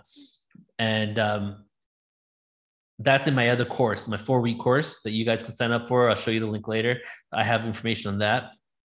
But in that, they actually, the colors weren't even a part of it. So, how interesting is it that we use colors, even use color therapy to correspond to chakras, but that wasn't even created from the ancient text. It's only less than 100 years ago. But not until the 1980s did it become a defined thing. Someone mentioned it, but it wasn't even utilized until the 1980s. That's how recent it was for the colors and the awareness on colors. So I'm going to take a pause here because I think we're halfway into the whole entire thing. And I'm going to go back to talking to you guys about submitting your story in sound and vibration. I'm just going to take one minute here, okay? So again, everybody, I am creating three. It was my goal, right? I had a goal by when I was 40 to start writing books. I'm 39. I just turned 39 yesterday. So I was like, when I'm 40 years old, I'm going to have everything automated for Portal to Ascension. And I'm just going to go to some beautiful place in the world, check myself in near the beach, and just write books. But then everything happened in the world, and a lot of my projects actually moved forward, and I started doing them quicker. So actually, um, within this year, I have three, maybe four. I have one entire book that's my book, and then I have three chapters that I'm right, I've already wrote for other books, right? And this is the book that is my specific full book that I want to invite you to share your stories on. So even right now, okay, so say you you just had an experience of sound and vibration and you felt something and you wanted to write on it, you can write and be a part of my book. Okay. So this is called, and the link to this is on YouTube in the pinned in the description, pinned in the um, live chat, and also in the description. But my book here is, as you can see, the sound one right here, Neil Gaur. And I'm creating a full on chapter, well, full on main part of it, where I'm talking about all this awareness that I'm going over now is going to be in written format plus more in the book. But then I need 25 other people, 25 people to submit their articles. We've had five submissions so far, but I need 25 people to submit their 800 words at least articles or slash chapters on their experience with sound. Did you go to an ancient site and experience some solid sound frequency? Did you go and were you there like with Brian Forrest or another place where you harmonized an instruction and it did something? Did you feel something from it? Have you gone to a sound healing event and had a, a, a an amazing experience that you healed some traumas, had some emotional perspective, saw something, had a past life regression where somebody had an experience before. A lot of people get those at gong events, the past life kind of experiences have you had any experience with sound? And I am um, I am requesting in the most sincere and please, please, please format possible to really do submit your books because um, your articles because I need actually 20 more submissions to finish this book. And I have until December 31st before it goes to the publisher. So if you're interested in submitting your article, if one, you want to be a published author, right? Then please submit it. If two, you don't care about being a published author, but you want to share your story with others and other people can read this book, because this is going to go out to thousands of people and they can realize how sound and awareness is an actual science and ancient people used it and that people have actually having tangible experiences on it, right? So, one, if you want to be an author, two, if you don't care about being an author, but you just want to share your story, um, please do go to this website pinned in the live chat, also in the description read here, check out the submission guidelines, click to add your story, you know, and check it all out. And I'll tell you guys again one more time at the end of this. All right, back to the presentation.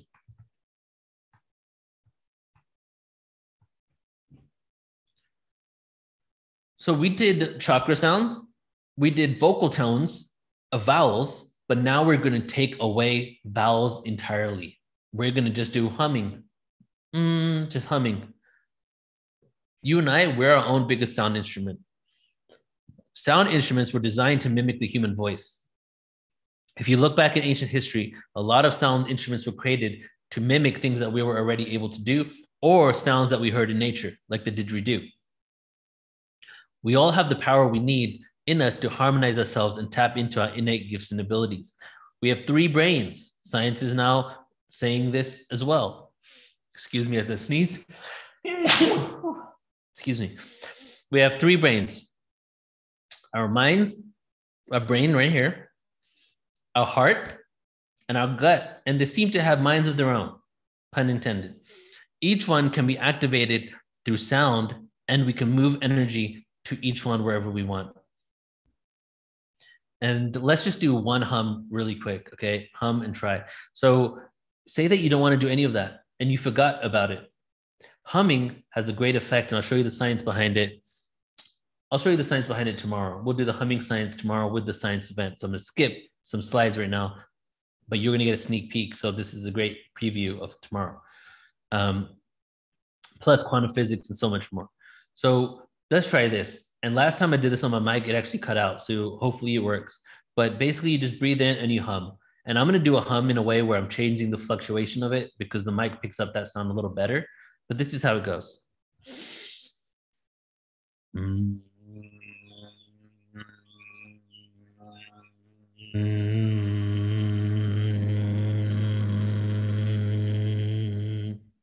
just humming.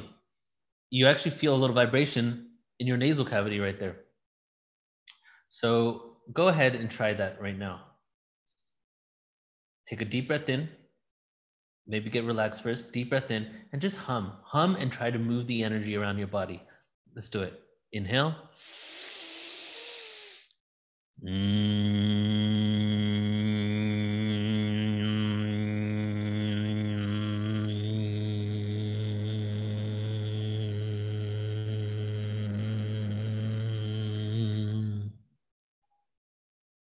You know what's really cool about doing this event and presenting is that vocal toning, chakra seed chanting, humming actually has the reverse effect on you losing your voice. It heals your vocal cords. It makes you feel more energetic and able to communicate more. So since it's such a huge presentation, I got to talk so much, it actually helps heal it, which I think is pretty awesome. Here's the book, Humming Effect, Sound Healing, Humming Science speaking about it tomorrow. Here's the science. Try to get a quick glimpse, but you're going to get all this tomorrow. Humming and chanting, rewiring the brain, nitric oxide, more nitric oxide information, the studies behind nitric oxide and humming. All right, that was that. But I'll go over that with you guys tomorrow. Um, this right here is on chakras, but we already did chakras. So I'm going to leave this open and if anybody ever wants to watch the replay or come back to it, you can pause right here and you can read this. What is a bija mantra? What is a mantra? What is the chakra? We spoke about that earlier. But I'll add this to it. Some say there are 114 different chakras, but there are seven main chakras that run along your spine. These are the chakras that most of us are referring to when we talk about them. Each of these seven main chakras have corresponding number, name, and color, which is an within the last century addition to a specific area of the spine. Here we go. This is what I was talking about earlier. I get to tell you now. The colors of the chakras were actually introduced in 1927.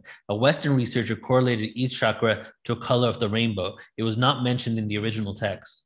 The colors have been a part of our belief system, and chances are it actually works because we have made it that when we give meaning to something and we believe it so much, it actually starts having that effect. And that's what I believe is happening with the colors of the chakras. Each of these seven main chakras have a corresponding number, name, however you wrote that. And then not until the early 1970s was the full integration of a current Western understanding of chakras in a book called Nuclear Evolution.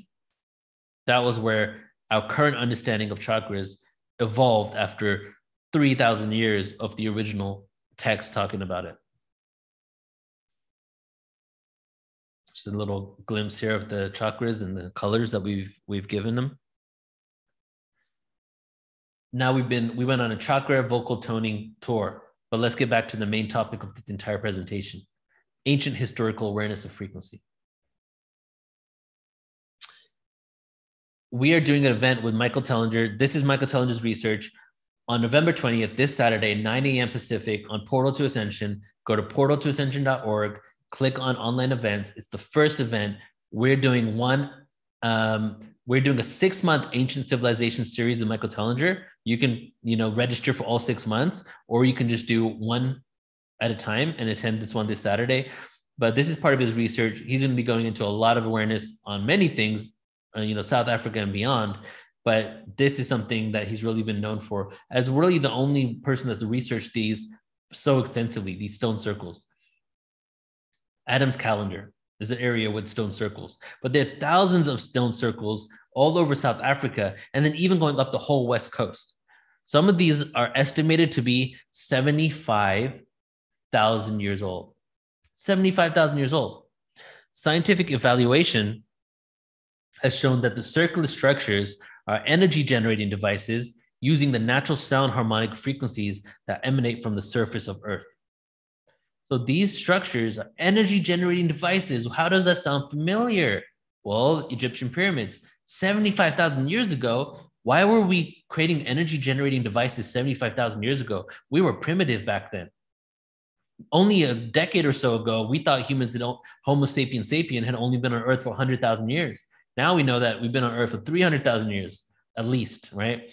Um, but 75,000 years ago, we've been told that we were really ancient, archaic, primitive people. How on earth did we create such structures utilizing the Earth's frequency? All the stones in these structures were made of something called dolerite that is not even natural to the region. So there were the stones, they don't know how they got there. The shape of each of these stone structures are rarely specific, then none of them are the same, and very unique because each circle represents the geometric shapes of sound energy cymatics. You may have seen cymatic plate, sand plate demonstrations. Well, this is it actually happening in nature. These structures seem to be taking the frequency of the earth in that area and creating a cymatic um, physical manifestation of those frequencies that then harness the energy of that area and amplify it. And I'll show you how much it amplifies in a second. Also, some of these structures you go in, your phones don't work, compasses go wild. There is something going on with the magnetic force within this that is completely like, completely not what we consider normal. The theory is, and the evidence proves suggests that underneath these structures are ancient gold mining structures that show evidence that these structures may have been utilized in ancient gold mining operation 75,000 plus years ago, plus, right? Because at least 75,000 years ago. Ancient gold mining operation? What, what was going on back then? Who was using these energy generating devices to create taverns or uh, caverns underneath these structures that had gold within them to extract? Curiouser and curiouser. The geometry of these structures are incredible.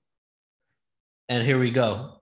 Just like in north of Africa, where we have the pyramids and the Giza Plateau aligning with Orion's belt, we go all the way down south to Africa, and we have these stone circle structures also aligning to Orion's belt. Now, these structures, guys, are generating frequencies to this day that are in the extreme gigahertz levels, over 380 gigahertz, which are unheard of on Earth in any normal applications. There is no normal application on Earth that generates 380 gigahertz. So this vanished civilization had a really keen understanding of energy that we don't even know. and his brother Michael Tellinger. Again, Michael and I will be together live on Saturday, November 20th, 9 a.m. Pacific. Go to portaltoascension.org. sign up there if you want to be a part of that one event or the whole six months where we're going to do ancient civilizations of the yin yang for the next six months. All right, let's go ahead and show you this one right here. Let's go to this. The skin of the rock, this brown reddish color that covers. Let me just give you some backstory. This right here are fragments of the stone structures. These these things, these sound, the, these um, what do you call it? These stone structures, right, are actually parts that you would take out of the walls of the actual um, Adam's calendar stone circles. Some of them are found fragmented everywhere, but a lot of them are actually just like part of the stone circles. Covers the rock that is no longer the original black or charcoal color, the original color of the, um, the metamorphosized quartzite that's underneath. And that's how it rings.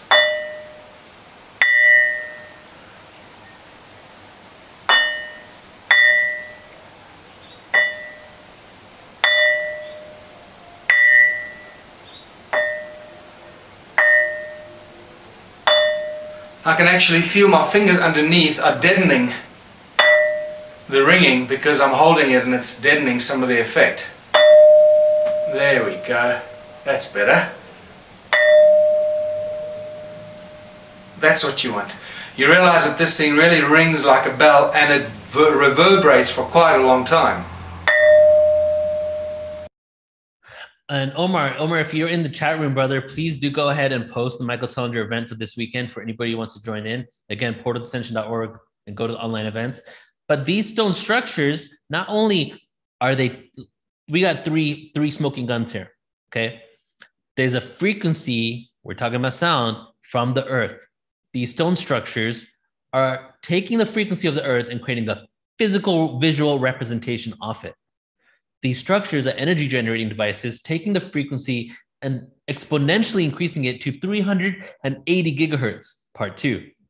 These stone structures have these stones within them that ring like harmonic bells, part three. Sound, sound, sound.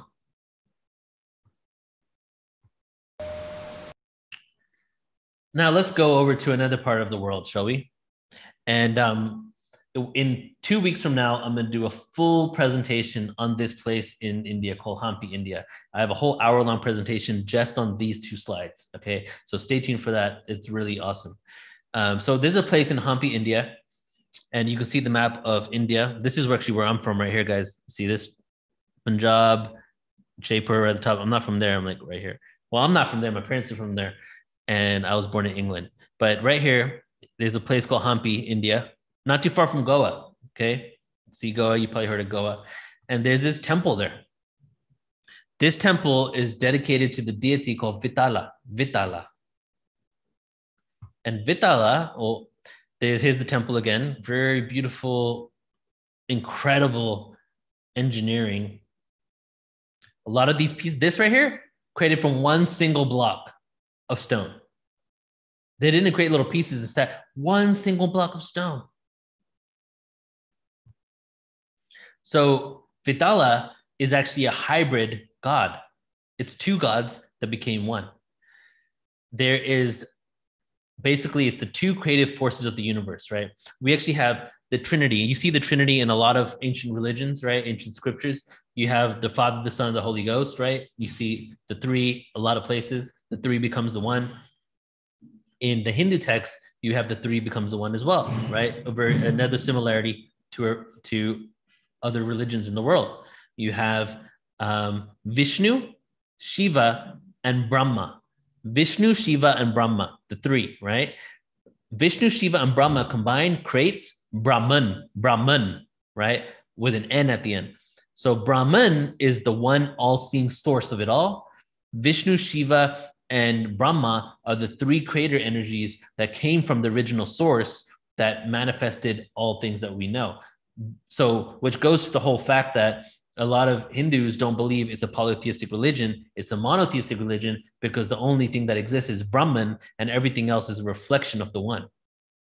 So we have this temple in Hampi called the Vitala temple. And as I said, Vitala is a deity that is Shiva, and Vishnu combined. So as you can see, Shiva plus Vishnu equals this guy here, right at the bottom. This androgynous being, really. And Shiva has a has um, a drum. Shiva goes around with the drum, and the drum is known to make the sound Om. Well, Vishnu has a conch, but the frequency that comes from the conch is also the sound Om. So together, they put their frequencies together and they create this drum and this conch-like sound that is a frequency that creates their hybrid being, which is Vitala. this temple was constructed during King Devaraya's II's reign, around 1442 CE to 1446 CE. So, not too long ago in the whole um, history of ancient India, right? At this place, there is something called the musical pillars of the Ranga Mantapa. The Ranga Mantapa is one of the main attractions at the temple. The large Mantapa is renowned for its 56 musical pillars. These musical pillars are known as the Saregama pillars. So we have the solfeggio tones, right? The solfeggio in the Western world, right? Pythagorean, Pythagoras being the discoverer, let's just say, not the founder, because these tones are primordial, the discoverer of the Western music scale. So, re, mi, fa, sol, la, ti. So, re, mi, fa, sol, la, ti, right? Solfeggio. Well, the Indian scale also has their own component of that, and it's called the saregama. Saregama, saregama, saregama. So these pillars are known as the saregama pillars, and the saregama scale actually connects to our chakra points. These are another way to activate energy centers in the body. These musical pillars are incredible because there's 56 of them. Some of them have been, you know, when the British came in there, they basically um, cut some of them down to figure out what they were. But some of them are like string instruments, like drums, different sounds, but they all go with the same exact scale from lower frequency to the higher frequencies. And here is a video of that.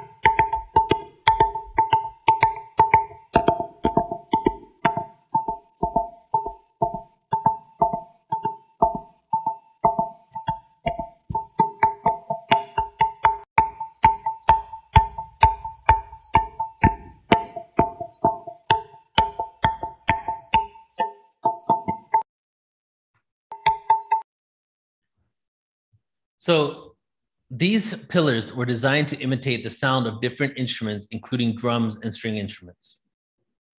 No matter what instrument is sounded like, each pillar followed the same exact notes of the Indian classical scale.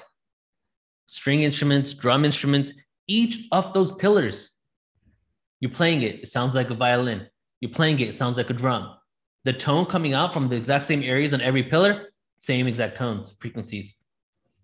Each sound is a journey from the root chakra to the crown, connecting you to the divine by listening to the frequencies. And just like in Egypt, when the wind, just like in Palenque, when the wind goes into these structures, and then all of a sudden um, the frequency is still being played, even though you can't hear it, that's happening there as well. So the whole thing was this was dedicated to a deity, to a god, to higher consciousness, to enlightenment. So when the wind will come through, when the rain will come through, when they would just play it themselves, there was always that frequency that was in full chakra activation within that temple. When the British went there, they were amazed and they wanted to know how were these structures created? How did they do this? So they cut a few of them open right? But when they cut a few of them open, it was just pure rock. There was no difference. They had no idea how it was done. The, like every one of them looked the exact same inside. And here's the Saregama scale in relation to the connection to your chakras. speaking about Palenque, now this these are all my own images and videos because uh, Palenque is awesome. For the last not last year, but the year before and the year before that, I was at Palenque on my birthday both times, which is another symbolic thing because my birthday was yesterday. So two years ago and three years ago to the day, I was at Palenque, and um, there is some amazing information coming out of Palenque that connects us to the fact that the Maya had a really advanced knowledge of sound awareness as well. In Palenque, there are two areas. So when you go to this site in Chiapas, right, which is about maybe like a six hour drive from where I'm at right now, seven, six, seven hour drive. When you go there, you can go and pay for entrance to this site, the excavated area, right? There's a lot more to this. Or you can go into the area where there's unexcavated. Palenque is massive. There's over 1,400 unexcavated pyramids and temples in Palenque. So you can go down over to a hike through the jungle where you're walking over the 1,400 plus unexcavated temples, or you can go to the excavated area or both. So the last time we went two years ago to the day, two years and one day ago, we went over to the unexcavated area. And this is um, this is just for fun to show you kind of like, you know, us hiking in that area. Stairs of a pyramid. And you can see it because it elevates.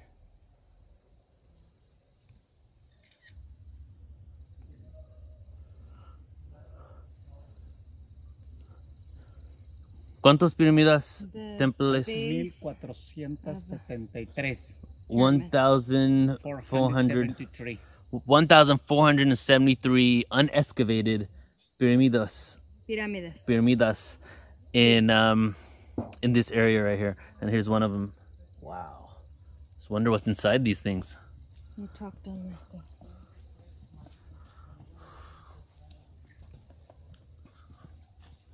So we're climbing up the steps of an unexcavated pyramid now. Oh, just rained the last three days, so it's extremely slippery. Entonces estas piedras son este So these rocks are actually pyramid rocks. Okay, jumping forward. So Palenque, it was known as a central hub for trade, commerce, diplomacy, and foreign affairs. Many different ethnic groups seem to have gone there, seem to be much older than we've been told, and that it was a hub for um, welcoming people from around the world that were traveling and discovering this area and having conversations about their cultures. May have been an area for global affairs, global affairs, and great minds and cultures to share ideas. There's a pyramid structure there that was specifically for all the intellectuals, scientists, mathematicians, and astronomers, right? The elite of society, but not elite in a way that we look at it now, like uh, basically you're lesser than, we're gonna lie to you, politics is BS, all that stuff. I'm talking about the people that helped design and engineer the Mayan society in the ancient, ancient times, right? So in, in this place, this is the top of that one structure, right? We had to climb a bunch of stairs to get there.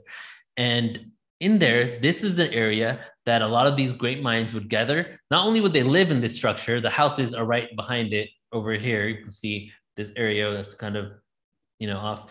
Um, but they would get together here and have conversations about building society. Let's take a look at this video. All right, so last time we are here, we can't, unfortunately, we can't go into that side right now. It's closed off for some reason. But you see that slab right there, and the slab on the right hand side. Those are actually part of the roof originally. This whole thing had a roof over it. And even though they're solid rock, and we have a clip that I'm gonna look for at home, see if I can plug it in here. Uh, when you hit those rocks, they make these harmonics, these beautiful harmonics. Whereas when they were over here and as the roof, when they were part of the roof, when it would rain, when there would be wind, and this is like a wind tunnel, like wind would literally come through here, um, just the way it's structured, that they would make harmonic sounds on there. And then we would have all the ancient cultures around this area right here um, getting together to discuss politics, science, astronomy, spirituality, all of that stuff. And at the same time as they're doing that, whenever the wind would come through and it would rain, it would create these frequencies that will basically bombard all these people in here. So the theory is that we both have is that those frequencies were harmonics that were designed to uplift, enlighten, activate chakras. There's a chakra symbol here, um, and many other cultures in the ancient past had similar structures that also had harmonics that was specifically designed to create that frequency within them. Whereas in India, for example, we actually have pillars that were made to give you the same sounds as the solfeggios, which in Indian scriptures are actually saregama and not, not so re mi da, which. All right. So that structure that which I showed you right here, right here, those slabs were a part of the roof. These slabs do the same thing as the Hampi pillars. You play them, drums, harmonics, the same thing as the stones that Michael Tellinger pulled out of those um, stone circles. And what would happen when the wind would come through? Look at these wind. See the way they made the windows? Perfectly channeled the energy. It was hot there, right? They perfectly channeled it to create a good ventilation system acoustically. They didn't need central AC. They knew how to create structures in order to do that. And these stone structures were always emanating the frequencies because of the way the wind was hitting it. When it would rain or other things would happen, you would actually visual, um, you would actually physically hear the sounds from these. Now they're slabs because the roof caved in, but that's it right there. I had a video a while ago of us the year before that playing it, but I can't find it. I have too many video clips to go through. Just a few other ancient stories of levitation. We have the Pumapunku blocks, H blocks, a lot of you probably seen. Um, the local legend is that these were actually levitated into place. We have Stonehenge, and there's two distinct stories. There's probably more than that, but there's two common stories that people are sharing about how Stonehenge was created. First of all, they don't really know how it was all what the way we see Stonehenge, the way we put it together, was done by humans because these stones are everywhere. So it might even look much different. Stonehenge, local legend says, transported by levitation. And then there's another one that says it was done by giants. So this and or that. All right, County Meath, Ireland. And what I'm going to do now, actually, before we go to County Meath Ireland, I'm going to pause once more again, take a look at the chat, see how y'all feeling, see if you have any comments and questions. And I'm going to go ahead and switch off the Instagram feed that's been going on for quite some time here. So here's everybody on Instagram. Bye, everybody on Instagram. Come to YouTube if you want to come uh, and watch the rest of it. Um, and hopefully we'll see you here. Let's see how I do this though.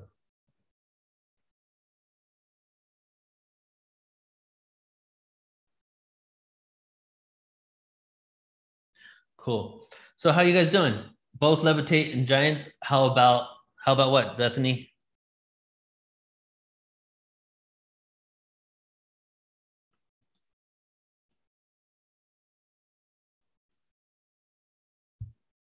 Do I think okay, Terry, what do you mean do I think it was galactic? What what are you speaking about exactly there?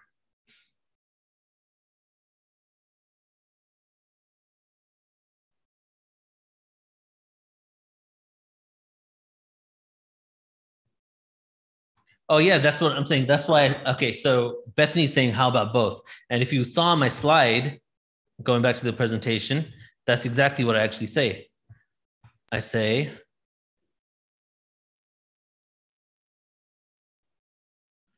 "Oh yeah, doing a whole thing on ancient Ireland." They can be whole three-hour presentations on every place in the world, right? So check it out. Stonehenge logo says transported by levitation and or giants you know, this it crosses over. Who really knows? Oh, hopefully somebody knows. But the Akashic records know. Now, County Meath, Ireland. In County Meath, Ireland, there's a 5,000, this is actually one of my favorites, Malta and this place. There's a 5,000 year old structure found to be amplifying the Earth's natural magnetic frequency in the area, which is 110 hertz. it was built around 3200 BC which is what, 5,000 years ago, in what we call the Neolithic period. It was the last part of the Stone Age but is an older than Stonehenge. So they say, but I think that's probably incorrect too. I think Stonehenge is much older. This is what it looks like. Amazing structure.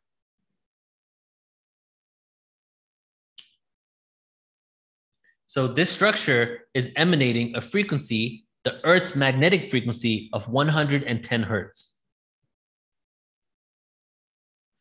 And then we go to the island of Malta, which is a place I hope to go live at in a year or two for a, at least six months. In February 17th of 2012, Vancouver Archaeoacoustics Convention, in which archaeologists, anthropologists, and scientists got together to discuss the sound and resonance properties of ancient sites. So it was a mainstream event where this happens. People get together. They can you can't deny that these structures emanate frequencies or have some vibratory awareness in mind.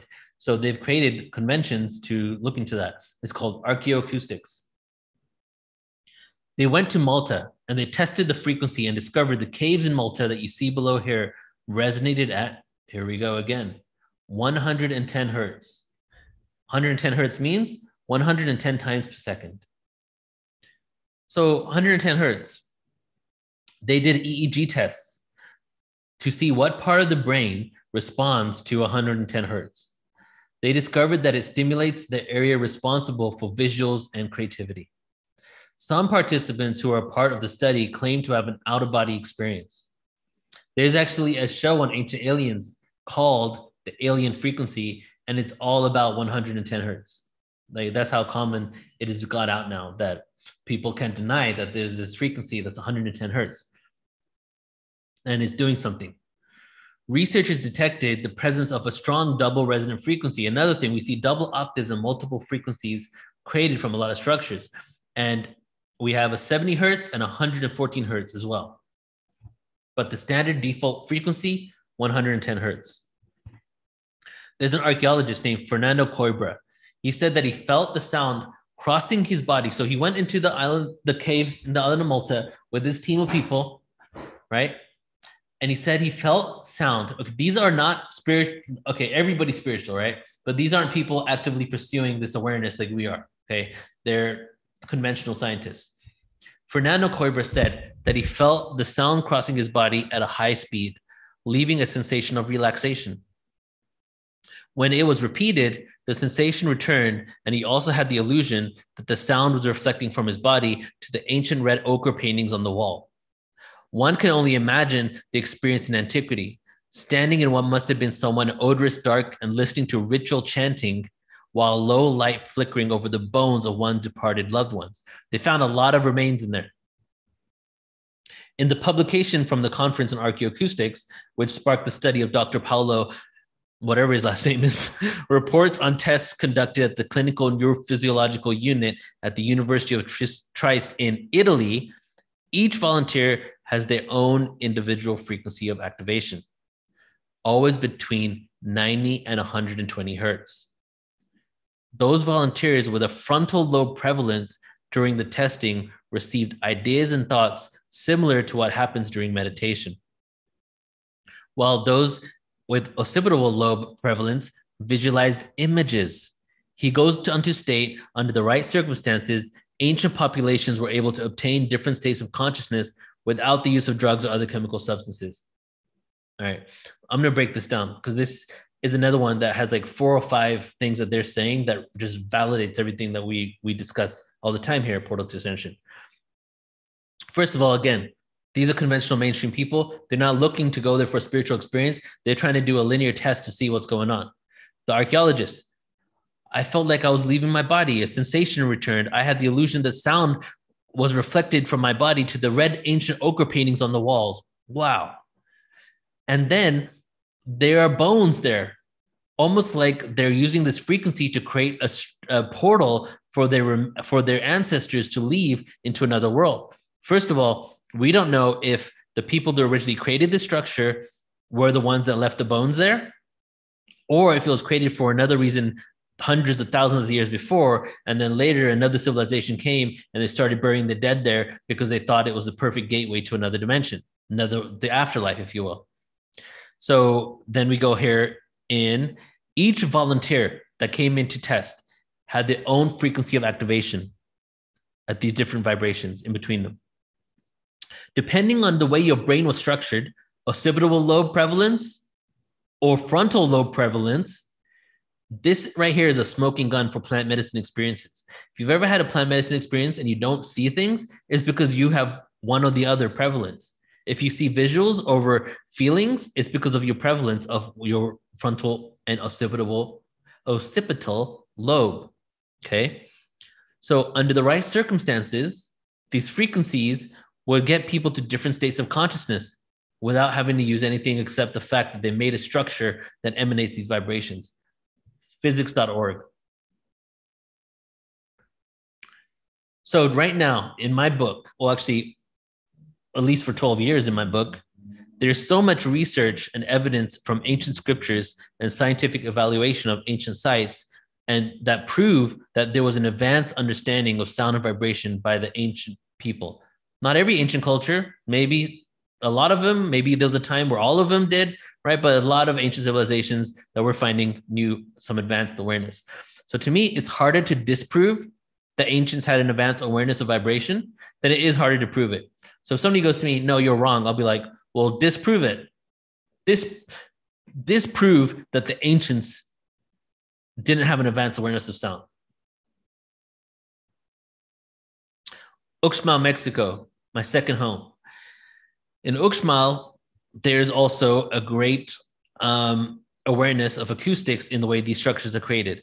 When you're in one side of the structure and you whisper, someone can hear you on the other side when you clap, the vibration is just comes back to you. So it's been created in such a really beautiful, genius way.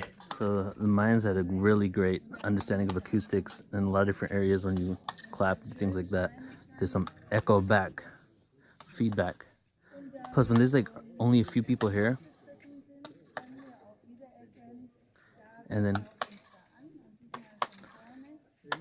if she's up there and I'm over here and she like whispers, I can hear her.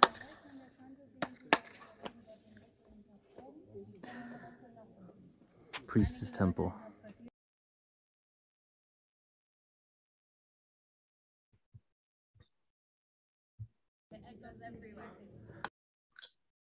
All right, here we go, guys. Precursor to the fact that I am going to be doing a presentation on Pythagoras let's just take a second here and show you it. How about that? Pausing here, going to my website. Oops, oops, oops. Un momento, por favor. Okay, so we're going to go into Pythagoras' life right now, okay? Just a little bit of Pythagoras. Um, because I'm going to do a lot of bit of Pythagoras on December 19, 2021. If you want to attend this event, Truth, Life, and Times of Pythagoras. Many years of research for myself on the life of Pythagoras. And it's going to be on December 19th, 2021. I'm going to read, I'll just tell you real quick. I have to read this to you. Join myself for an in depth exploration on the life of Pythagoras. We will explore the mysticism behind his teachings, what he knew and discovered about sound frequency, as well as his initiation into Egyptian mystery schools who really was this person and the culture of the years he lived in. We have heard so much within the consciousness world and mainstream about Pythagoras' accomplishments. So let's dive deep into the man, the myth, and the journey he embarked upon that created such a huge impact in the world. What did he teach at his university? And what was his philosophy on life and the cosmos? This is an unprecedented deep dive that will be sure to expand your consciousness and understanding of the history of humanity. So if you want to attend, my event with Pythagoras and register, portaltoascension.org, online events, scroll down and you'll find it there. Okay. And before we get into the presentation, I'm going to show you guys this again. If anybody wants to do their, all the new people here, people have heard it before. I'm going to say it one more time after this as well. So please excuse me for my, actually don't excuse me. This is just my passion. I'm so passionate about getting this awareness out that I want to be doing this a book where I have other people that are a part of it that we can all share our stories on sound and make it a collaboratory book. So if you want to um, publish your article in the pinned in live chat, in the description. Click that link, bookmark it, ask me questions. You know, if you want to like engage and be part of it, but you don't, or you have more questions about it, or you need someone to hold your hand to do it, I'll do that for you. Okay. So please contact me. Info at portaltoascension.org, portaltoascension.org. We got like 10 different ways to contact me there. Call me, whatever, or just click the link and bookmark it. And please do submit some stories. so Pythagoras, Greek philosopher around 500 BCE, the father of musical therapy, but a resurrection, let's just say, that he's called that, right? And he um, had a mystery school on the island of Crotona. He taught the use of the flute and the lyre as the primary healing instruments. With his monochord, Pythagoras was able to unravel the mysteries of musical intervals. Pythagoras went to Egypt for 10 years and was initiated into many different mystery schools. He was provided with ancient advanced awareness from celestial beings. That's another thing that people have said about him, and um, ancient scholars have said things like that. And I'll be talking about that in my presentation with him. Successfully connected geometry and mathematics to music because they are one and the same. The music is the creative aspect, mathematics is the linear aspect. Just a different way of explaining the exact same thing. Thereby founding what we now know as the Western music scale.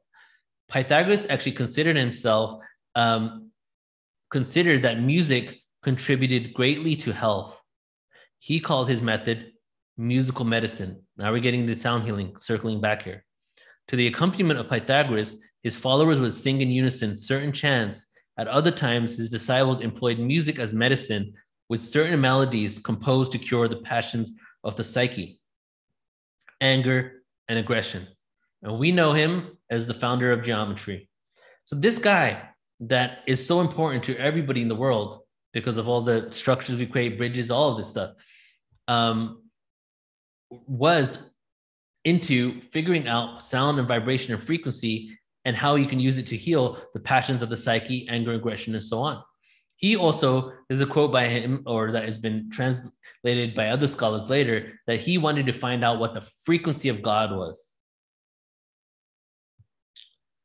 This is such a real thing that the elite, the elite worship Pythagoras. The secret, the secret, right? The stonemasons became the Freemasons. The Freemasons became the other secret societies. What were the stonemasons good at? Why was it that the stonemasons could go from um, from territory to territory with the guard of the Knights Templar for quite some time without being persecuted or anything because of their ability to create structures, right? That dated back to ancient Egyptian pyramids, even. The elite, they worship him. And it's because the secret, that secret was how to create society.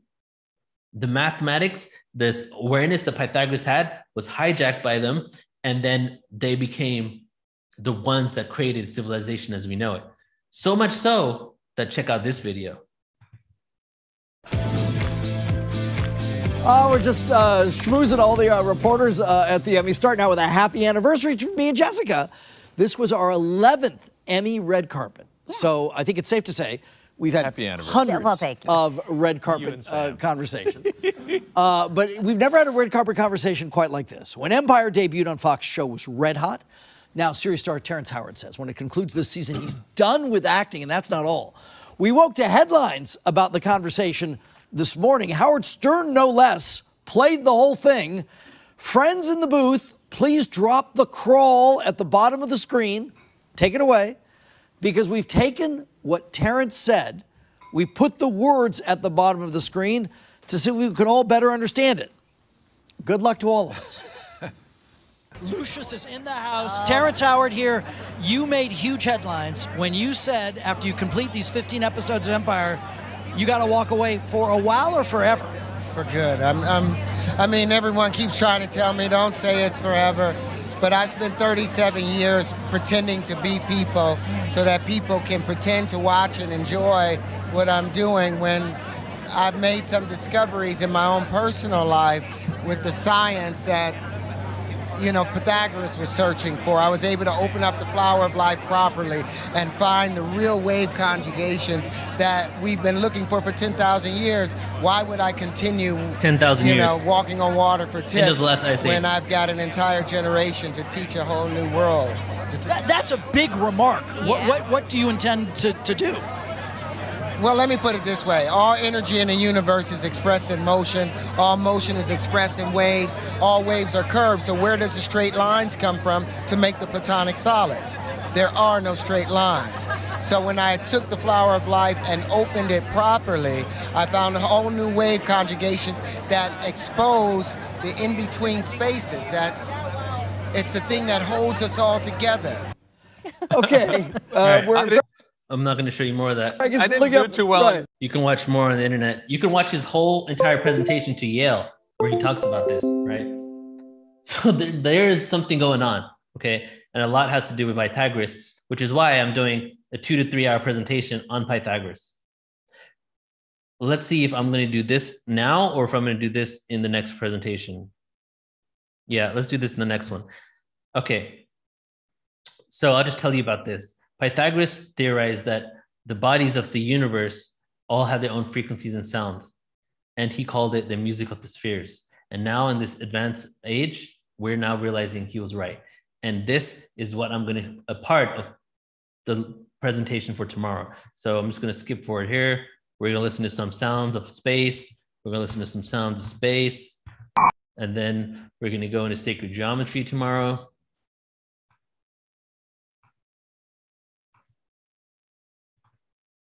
Spoiler alert, close your eyes if you don't want to see this.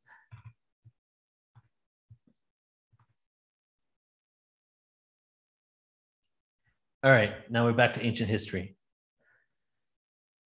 So we're going all the way back to Egypt, right where we began. The Ankh in Egypt, this is what the Ankh looks like. Some say, and this connects to Pythagoras as well, because the tuning fork was something that Pythagoras rediscovered an awareness that he got out of ancient Egypt. And it seems that this awareness was actually a part of the Ankh, and the Ankh was actually a vibratory tuning fork that was utilized in different practices. Some say it was utilized during sex in order to take the energy and amplify the energy and the Kundalini force that you create when you have um, sexual intimacy with someone. So the Egyptian Ankh dates back at least to 9000 BC, which is 11,000 years ago. You see, we're all going back to around the same dating for all of these things.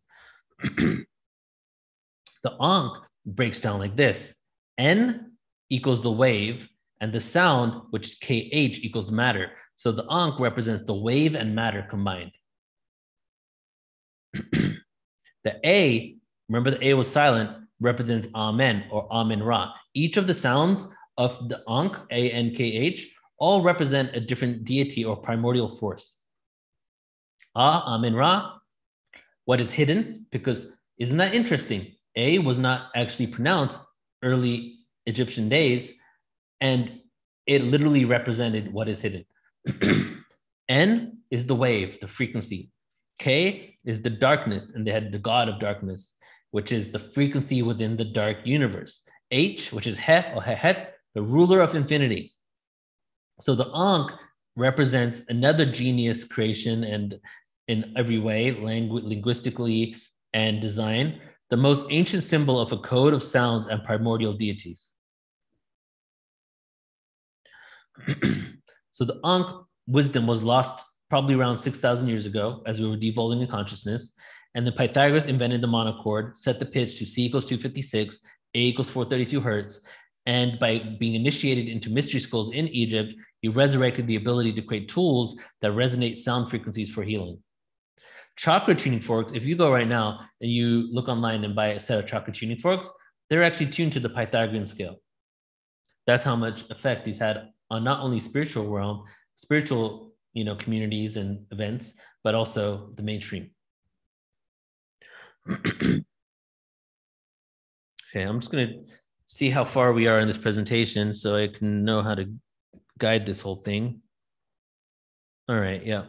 Probably got a good 45 minutes left. Let's see how you all doing. Checking in with you all on YouTube here. Comments, questions, anyone? The Ra, loved them too. Lots of info about very ancient Egypt from works of Dolores Cannon. Yep. Masters of the Omniverse says, I see blue dots.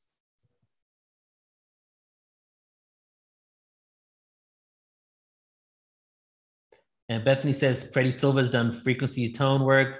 Yep. We actually have a three hour presentation with Freddie Silva on our website, portaltoascension.org. And Freddie is going to be at our conference in October 7th, 8th, and 9th of 2022 in San Diego, California. So stay tuned, everybody. Um, this is going to be a celebration of life. Like it's going to be so epic. We're going to be by the marina in San Diego. Uh, we have a venue that fits 300 people overlooking the marina. Freddie Silva is going to be there. Robert Schoch's going to be there. Adam Apollo will be there. Um, the Hurtaks. Uh, Michael Tellinger is the only person streaming in. Alan Steinfeld. Lots of other people. So Freddie is amazing. Yes, yes. And you're asking about the temples in Thailand. I haven't gone, there's so many ancient sites. I haven't even gone into that one specifically.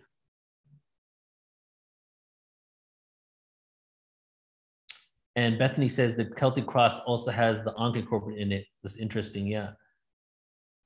Okay, back to the presentation.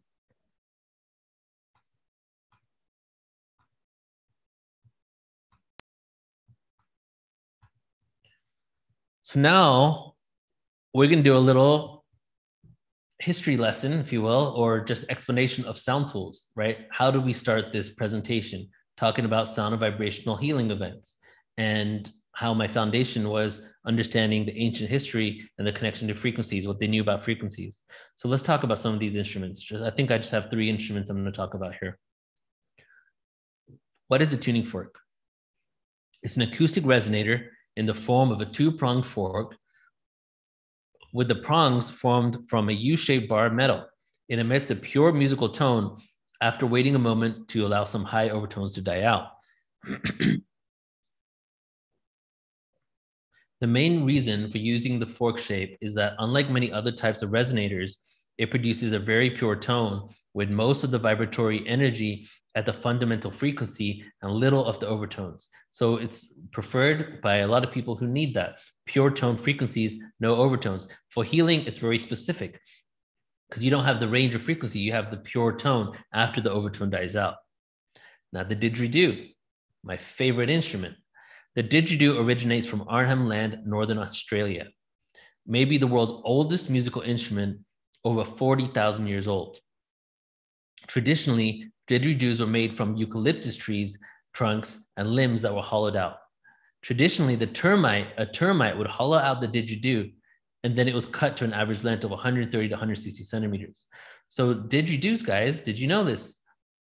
The original didgeridoos for thousands of years were actually not carved out by humans. Termites, even right now, it still happens, right, in Australia, would carve out, you see this inside? This is carved out by termites. And then the Aborigines of Australia would go and get their didgeridoo, create the mouthpiece, cut it to the right place, um, right length, and now they have their own didgeridoo. That's how they originally were. But the very interesting thing is that these didgeridoos, for thousands of years until modern time, when we can create our own didgeridoos and change the frequencies, all emanated the same frequency. So there was some sort of code in the DNA, probably, of these termites that when they would hollow out these eucalyptus tree trunks, they would all hollow it out in the same exact way so that when they were done, when you would blow through them, they would all create the same frequency, which was C sharp, C sharp. Today, didgeridoos are made from a bunch of different things, right? Even crystal didgeridoos exist. But traditionally, they're used as an accompaniment along with chants, singers, and dancers often in ceremonies. In many tribes, most of the tribes, if not all the tribes, I've only ever heard, there's lots of tribes. I've only heard of like one, maybe even two tribes that the women played it, but that might have been thousands of years later, right? Many tribes, only the men played the didgeridoo, and in other tribes, some children and uh, women did play. And the reason why is because the didgeridoo was a phallic symbol. It represent masculinity and it represent a rite of passage for the man when you hit puberty and you were ready to become a man, you then received a didgeridoo. But the some of the stories, because there's a lot of stories on it. Like there's one story that has that the didgeridoo was given to the Aborigines of Australia as a tool to create a portal so that the extraterrestrial beings that they were in communication with could come through.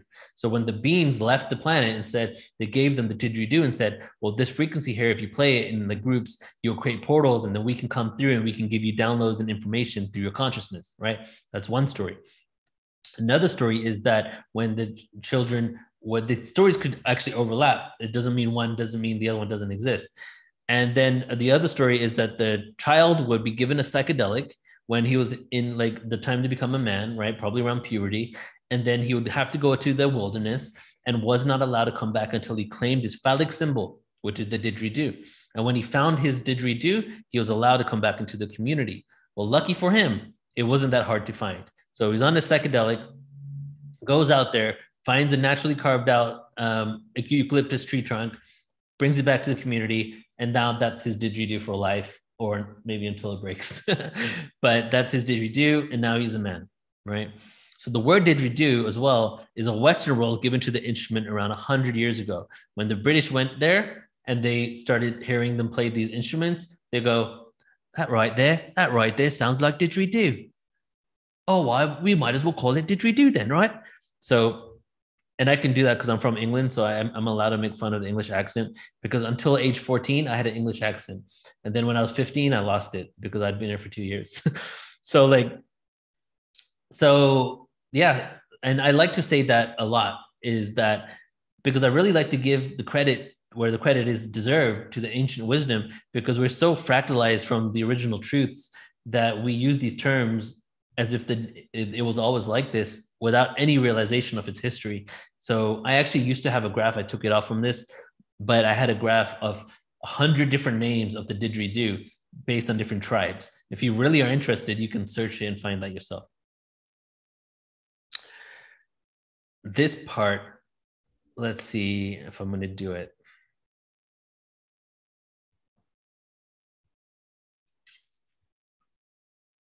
I'm thinking, I'm thinking. No, we'll do that tomorrow. Okay. So what does this all mean? We're in the we're in the final stretch here of today's presentation. The Yuga cycles, right? The Greek poet Hesiod, between 750 and 650 BC, in his poem Work and Days, speak about the Yuga cycles. Almost every ancient civilization culture pre-flood, right, pre-Noah's flood or Gilgamesh's flood, actually have references to cycles of time. Because let's just say um, you're going on a detour here. Noah's flood occurred. We continue to evolve. Evolution was linear since then. We look at the past of our life since Noah's flood, and now we look at time and we think it's all linear because we were at um, the flood, basically wiped out great civilizations, and then we had to start from scratch, and now we're building ourselves up again.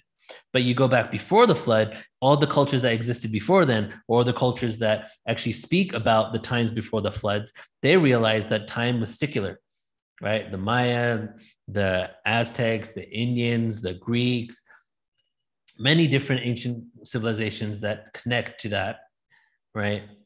Um, they knew time was secular and that we went through yuga cycles, right? The yuga cycle term comes from the ancient Indian text but it's just cycles of time. The there are two um, texts that really, really talk in detail about the cycles of time. One is the Greek text from this poet, and even Plato talks about it, and then the Indian text. The in ancient Indian texts, they give you dates, and I'll show you the the graph from this text in a bit. No other civilization in the world has the dates of the cycles, right? Only that text.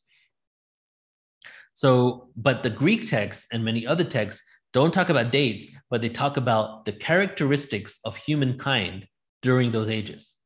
So here's what the Greek poet had to say.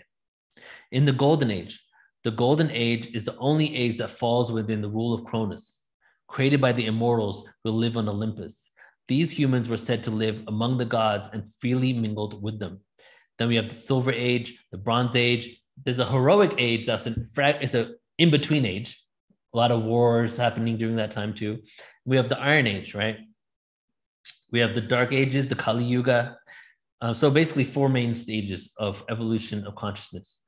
And here is one of the graphs that comes from the ancient Indian texts that show you the cycles, right? So the way it works is in one cycle, 25,000 to 26,000 years, around 13,000, 12,500 years on both sides, plus or minus, each age happens twice. The more advanced ages are longer than the darker ages. You can see here the Kali Yuga, the darker ages right here, are the smallest ages. The Bronze Age, you can see, the Dwapara Yuga, a little longer. The Silver Age, notice the Treta Yuga is longer, and the Golden Age, thank God, is the longest, and it's doubled up. So you have a ascending Yuga cycle, you have a descending Yuga cycle. Each of these ages have their own theme. The Dark Ages, duality, separation, the age of authoritarianism, the age where you give up your um, rights and you feel that hierarchy is important. Um, and then you have the Bronze Age, which is what we're in right now. We left the Kali Yuga in 1700. You see this line right here? This line of the end of the Kali Yuga was 1700 um, CE. This line right here at the beginning of the full on Bronze Age is 1900 CE. So there was a 200 year transition phase into this age that we're currently in. The theme of the Dwapara Yuga is the age of energy. What happened in those 200 years? Discovered electricity. We're figuring out how to use energy.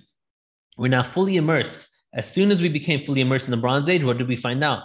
We went even deeper into the realm of energy and realized quantum energy, early 1900s, right? Goes hand in hand with this. And then you go up, up, up, and I, it uh, escapes me right now the themes of the other ages. I can probably speculate on them and tell you based on my experiences of researching this, but there are actually given themes in these texts as well. And every age that you ascend, the life expectancy of humanity increases by like twice. So, for example, we're going into the Bronze Age. Life expectancy within this age will be 200 years. Then you get into the Silver Age, it becomes 400 years. You get to the Gold Age, it becomes 800 years on Earth. And here is the graph with the dates. And you can see what I said, showed you here. So the Kali Yuga was 1,000 years and 1,000 years, 1,000 years descending, 1,000 years ascending. And then in 1700, we officially started leaving that age.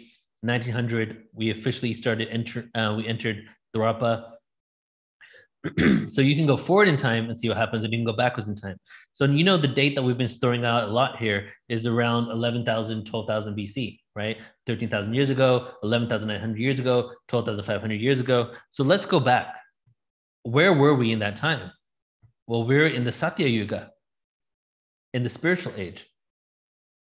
What happened at the end of the last ice age? Well, the end of the last ice age was right here, around 11,500 BC right when the golden age began descending. So it's important to note that in some of these ages, less cataclysms happen in more advanced stages because we have more control of our reality, but some earth changes do occur. And those earth changes happen even in advanced ages. And when those earth changes do occur, it has people need to adjust. So it's interesting that the Satya Yuga, um, the descending goes hand in hand with many of the ancient sites that we've been showing today and the structures created and the, explo- the explosion in the ancient pyramid and all of that. When we get into these ages, war becomes more and more prevalent. There's war in the Treta Yuga, which is the Silver Age, right? There's war in the Dwapara Yuga. There's a lot of war in the Kali Yuga. But the way war looks like, I did a whole course on the Yuga cycles, and I'm going to Greece, everybody. I'm going to Greece. I'm going to go live in Greece for two months from March until April, and I'm going with a tour in order to track the Yuga cycles and the devolution of consciousness in Greece. So I'm gonna for two full weeks I'll be there.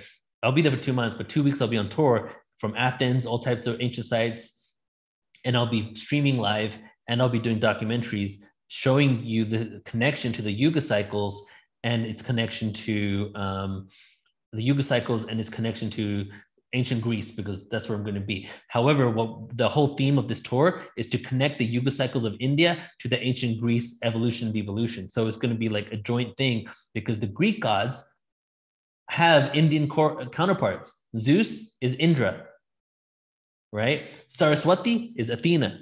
Same person, same story. So not only am I going to do a, a, full conference on ancient Greece, we're going to do an all day conference on ancient Greece, but I'll also be there and we'll be going into this very deeply to explore, you know. So as we devolved in consciousness and wars and wars became more prevalent, the lower in consciousness we went, the less rules we had with um, with warfare.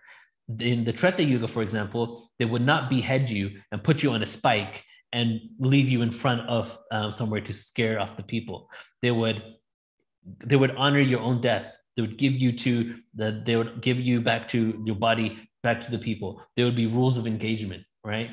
In the golden age, it was completely different evolution of consciousness, right? But as we were descending, and then all the separation it created, um, there were always communities within every age that decided not to awaken up fully, right? But then the higher in age, the fraction changed. In the golden ages, very few people didn't really want to focus on the spirituality. In However, there was a baseline of consciousness that existed because of the vibration of the planet. And then when you get to the Kali Yuga, most of the people didn't want to focus on the spirituality, but then there was a foundational group of people that did that were going to be the spark for the next age, aka all of us right here, right now. Okay. So every single age is not the end all be all. There's an opportunity for complete liberation in every stage. You don't need to be um, a, a, a victim to any stage. These are the cycles that we can always break free from. Some of us are incarnated with complete different mentalities that don't allow us to follow authority and hierarchy in the age that we're in, for example. So, as I was saying with the wars, as we devolved in consciousness, interestingly enough, every single shift from one age to another marks an epic war that happened on the planet. The War of the Ten Kings in um, the Indian text, the Trojan War. Track back the dates of these huge wars, and it happens to occur when we shift from one age to another. Okay, so then we, and I'll give you another example. What happened in 1700s? The American Revolution, right? What happened in 1900s?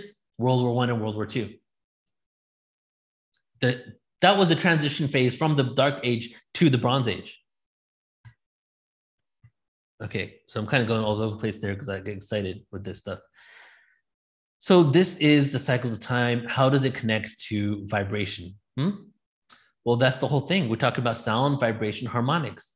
Just like you and i um, emanate frequencies and vibrations everything in existence has a frequency and vibration. And because of that we're the planet as well as the galaxy and our position in the galaxy, our position in the solar system, our position in relation to the black hole in the center of the galaxy, the supermassive black hole, all of those things have frequencies and contribute to harmonized or disharmonic experiences on Earth. We have been in an age that has been predominantly disharmonic for quite some time. We're now going to a harmonic one. So, right here, this graph really depicts our ancient, well, just this last cycle, right? Because it happens over and over, supposedly. Um, and some say that we're breaking free from this cycle and this evolution, right? So up, everybody has their own opinion on this. So as we're break, um, going into this new age right now, we are basically harmonizing the Earth's frequencies. We're learning about the ancients and what they knew about sound. So why was it that a lot of those structures had such you, and I saw somebody commented about the genius of this information of some of these ancient people. Look what age they were in. They were doing things with those sites that we were like, oh my God, how in the universe did you know how to create a structure that no matter what sound came in, the chamber would emanate the frequency of A. And you had the eye of Horus on the wall, but the eye of Horus is a cross intersection of our brain and our pineal and pituitary gland, but we don't see any evidence for advanced surgical, surgical procedures. How did you do this? Well, look at the age they were in. And that, my beautiful friends, is it for today. So I'm gonna I'm gonna show you a couple of things I've showed you earlier, just one more time. But um, let's just take the chat right here. Um, okay, somebody says good question, Terry. So let's take a look at what question Terry had. What happened to come to material age? Well, that was the Kali Yuga is the material age. Um, Terry, what is your question?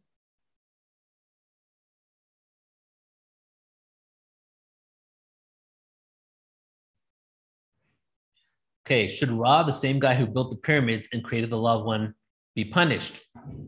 I don't have any information on whether a deity or an alien should be punished or not. Because let me just say this: there's two trains of thought when it comes to Ra. There's Ra, the controller, and the and you know the one that utilized people for his own benefit, and then there's the Ra energy of Arcturus. That's an energy that comes in from Arcturus that the Law of One also refers to. That is supposed to be the angelic realm.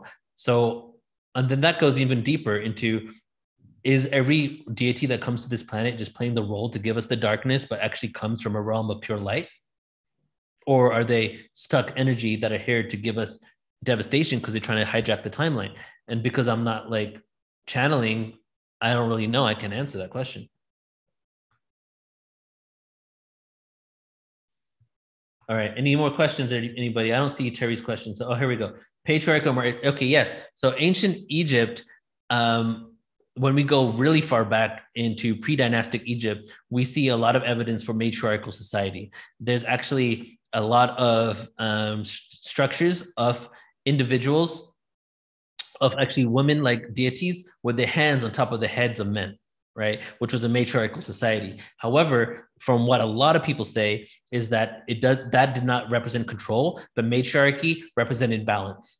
When we go to the ancient Lemurian culture, for example, you know, every one of these things is like a three to four hour presentation. When you go to ancient Lemuria, we're actually talking about a civilization that was really involved in the divine feminine energy. And we're like basically like 13 year old children with divine feminine energy, but mature adults to be able to take care of society until the Martian um, community came that was a very linear minded, masculine based society. And over a period of um, eons, maybe, I don't know how long it took, eventually took over the Lemurian culture and contributed towards its its destruction. So yeah, there's been a lot of matriarchal societies. When I first got into all this awareness, I was wondering if we're so patriarchal and so wounded masculine, were they are there planets where there was a where the wounded feminine was in control? That was my question. I, no one's really answered that to me. So, but when it came to matriarchy in the context of ancient India, because ancient India changed and became ritualistic and became patriarchal. But when you go back into ancient cultures of India, you see like the worship of the the feminine energy and how females were really held up as like goddess energy and they weren't persecuted and all that. But over thousands of years, that got lost as well. Are these ages associated with matriarchal and patriarchal energies? So I would say the if okay, let's talk about this we're talking about instead of matriarchy and patriarchy, let's talk about feminine and masculine. Okay. So there's the wounded masculine and then there's the wounded feminine, which is not really, even though women are hardwired to be um, into the feminine energy, but they also are masculine energy, and men are hardwired for the masculine energy, but they also have the feminine energy and the potential to balance both. I would say that these ages in these yuga cycles were more of a balance we we exist in a wounded masculine, but the, we also exist in a wounded feminine because the wounded masculine has wounded the feminine. In these societies, I believe the divine feminine and the divine masculine were very balanced. So it wasn't like it was just matriarchal. It was more of a balance rather than one energy being more than the other. It's my personal feeling here. All right. So now I'm going to do the final stretch here. And I'm just going to show you guys the thing that I've been showing you multiple times because I really, really, really would like you to be a part of it. But before I do that, I'm going to show you my website here. First of all, if you want to be a part, the, forget these dates. This is actually evergreen course. If you want to go deeper and do whole toning exercises, go into 432 hertz awareness, um, learn how to be a sound practitioner, find out more about ancient history, I have a four week course. Well, it's just four videos now because the course is over. You can go and sign up right here, and I'll post it in the in the room. Anybody's interested. Don't forget, guys. I'm going live again tomorrow with the the science of sound and frequency. Okay, so check it out. Sound and vibration course. Here is my Pythagoras event. Anybody's interested. But what I really want to show you is how excited I am for all the events that I have just scheduled in the last few days. So take a look at this. So, okay, to, uh, Saturday we have Michael Tellinger, right? So check that out if you want to join in with him, either for the six months or or um, for the one class. On um, December 11th, we have the Cosmic Christ with JJ and Desiree Hurtak. On December 5th, we're doing a free panel on YouTube with Whitley Strieber, JJ Desiree Hurtak, and myself and Alan Steinfeld on Jesus and New Vision, Christ consciousness. So we're going to talk about that will be on as well. I'm also doing a free one on the pagan roots of Christmas. December 19th, Truth, Life, and Time of Pythagoras. January 8th and 9th, the second annual Walk ins Conference. January 22nd, the Indus Valley and the Ancient India two day online conference. Saturday, February 19th, the Sumerians and the Mesopotamia all day online conference.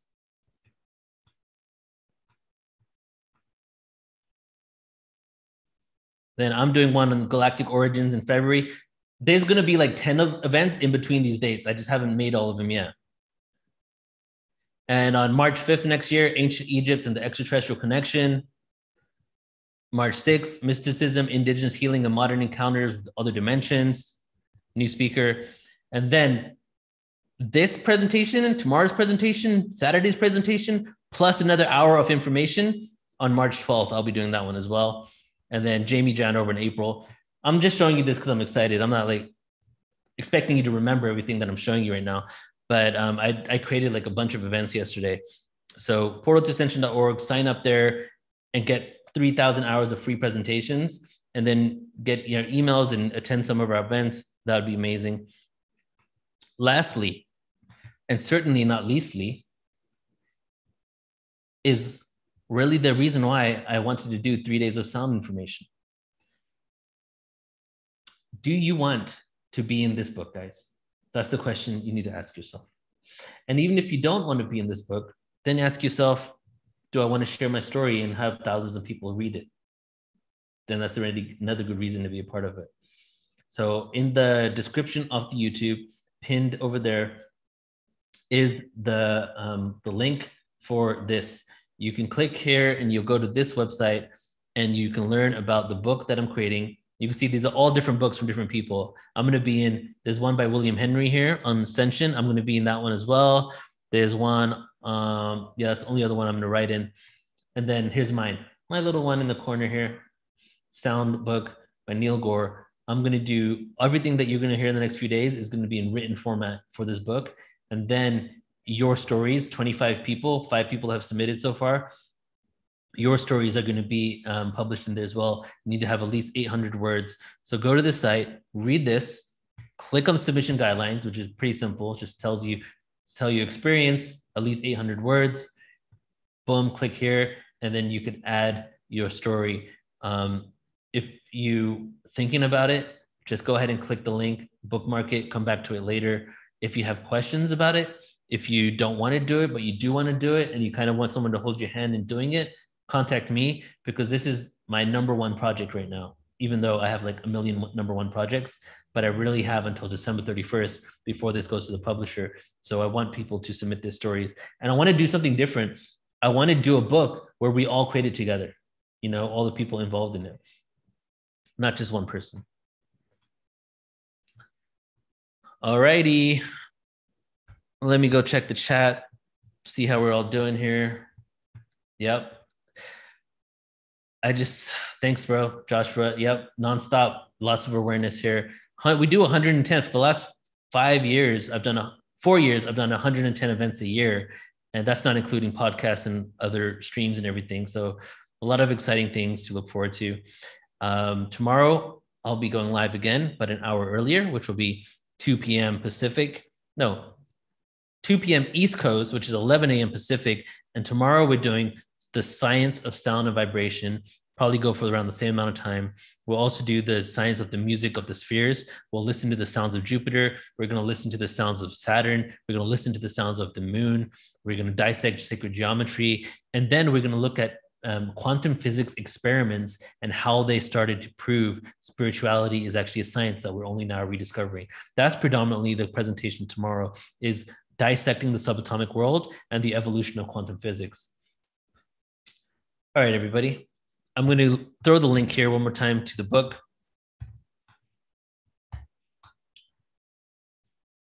And to say to you, I'll end with a uh, with a poem here. I feel that's probably the best way to close this out.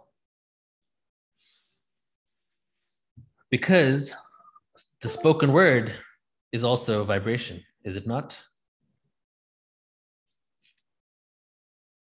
Let's do one that I remember.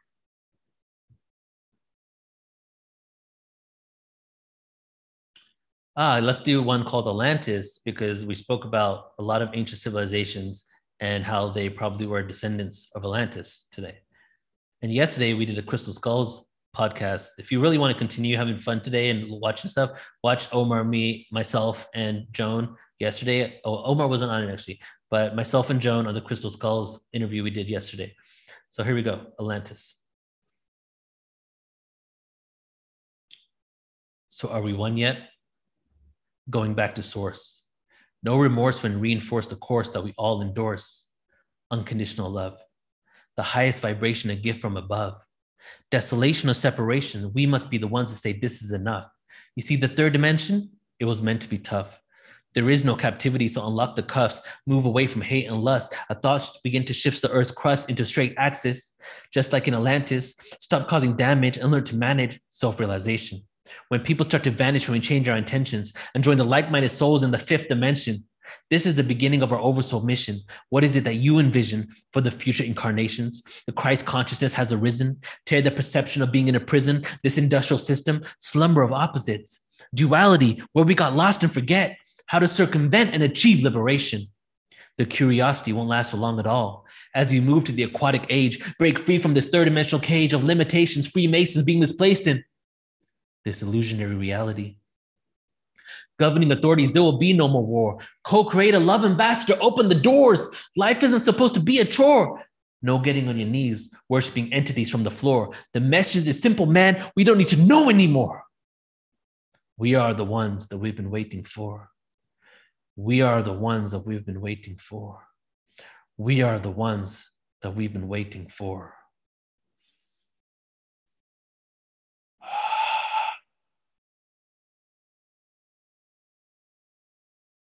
Thank you so much, everybody. Just let the comments come in as we close out for today. Infinite gratitude. We are all sound made physical. We are vibratory frequencies manifest into physicality. We are connected to the all, but we have this illusion that we're just our separate individual beings. And today, tomorrow, and the next day, we're going to go deep, deep, and deeper. Tomorrow, we talk about the science because I love knowing how this is a real thing based on the science behind it all. All right, everybody. Love you all so much. Have a beautiful rest of your day. See you guys tomorrow. Peace out.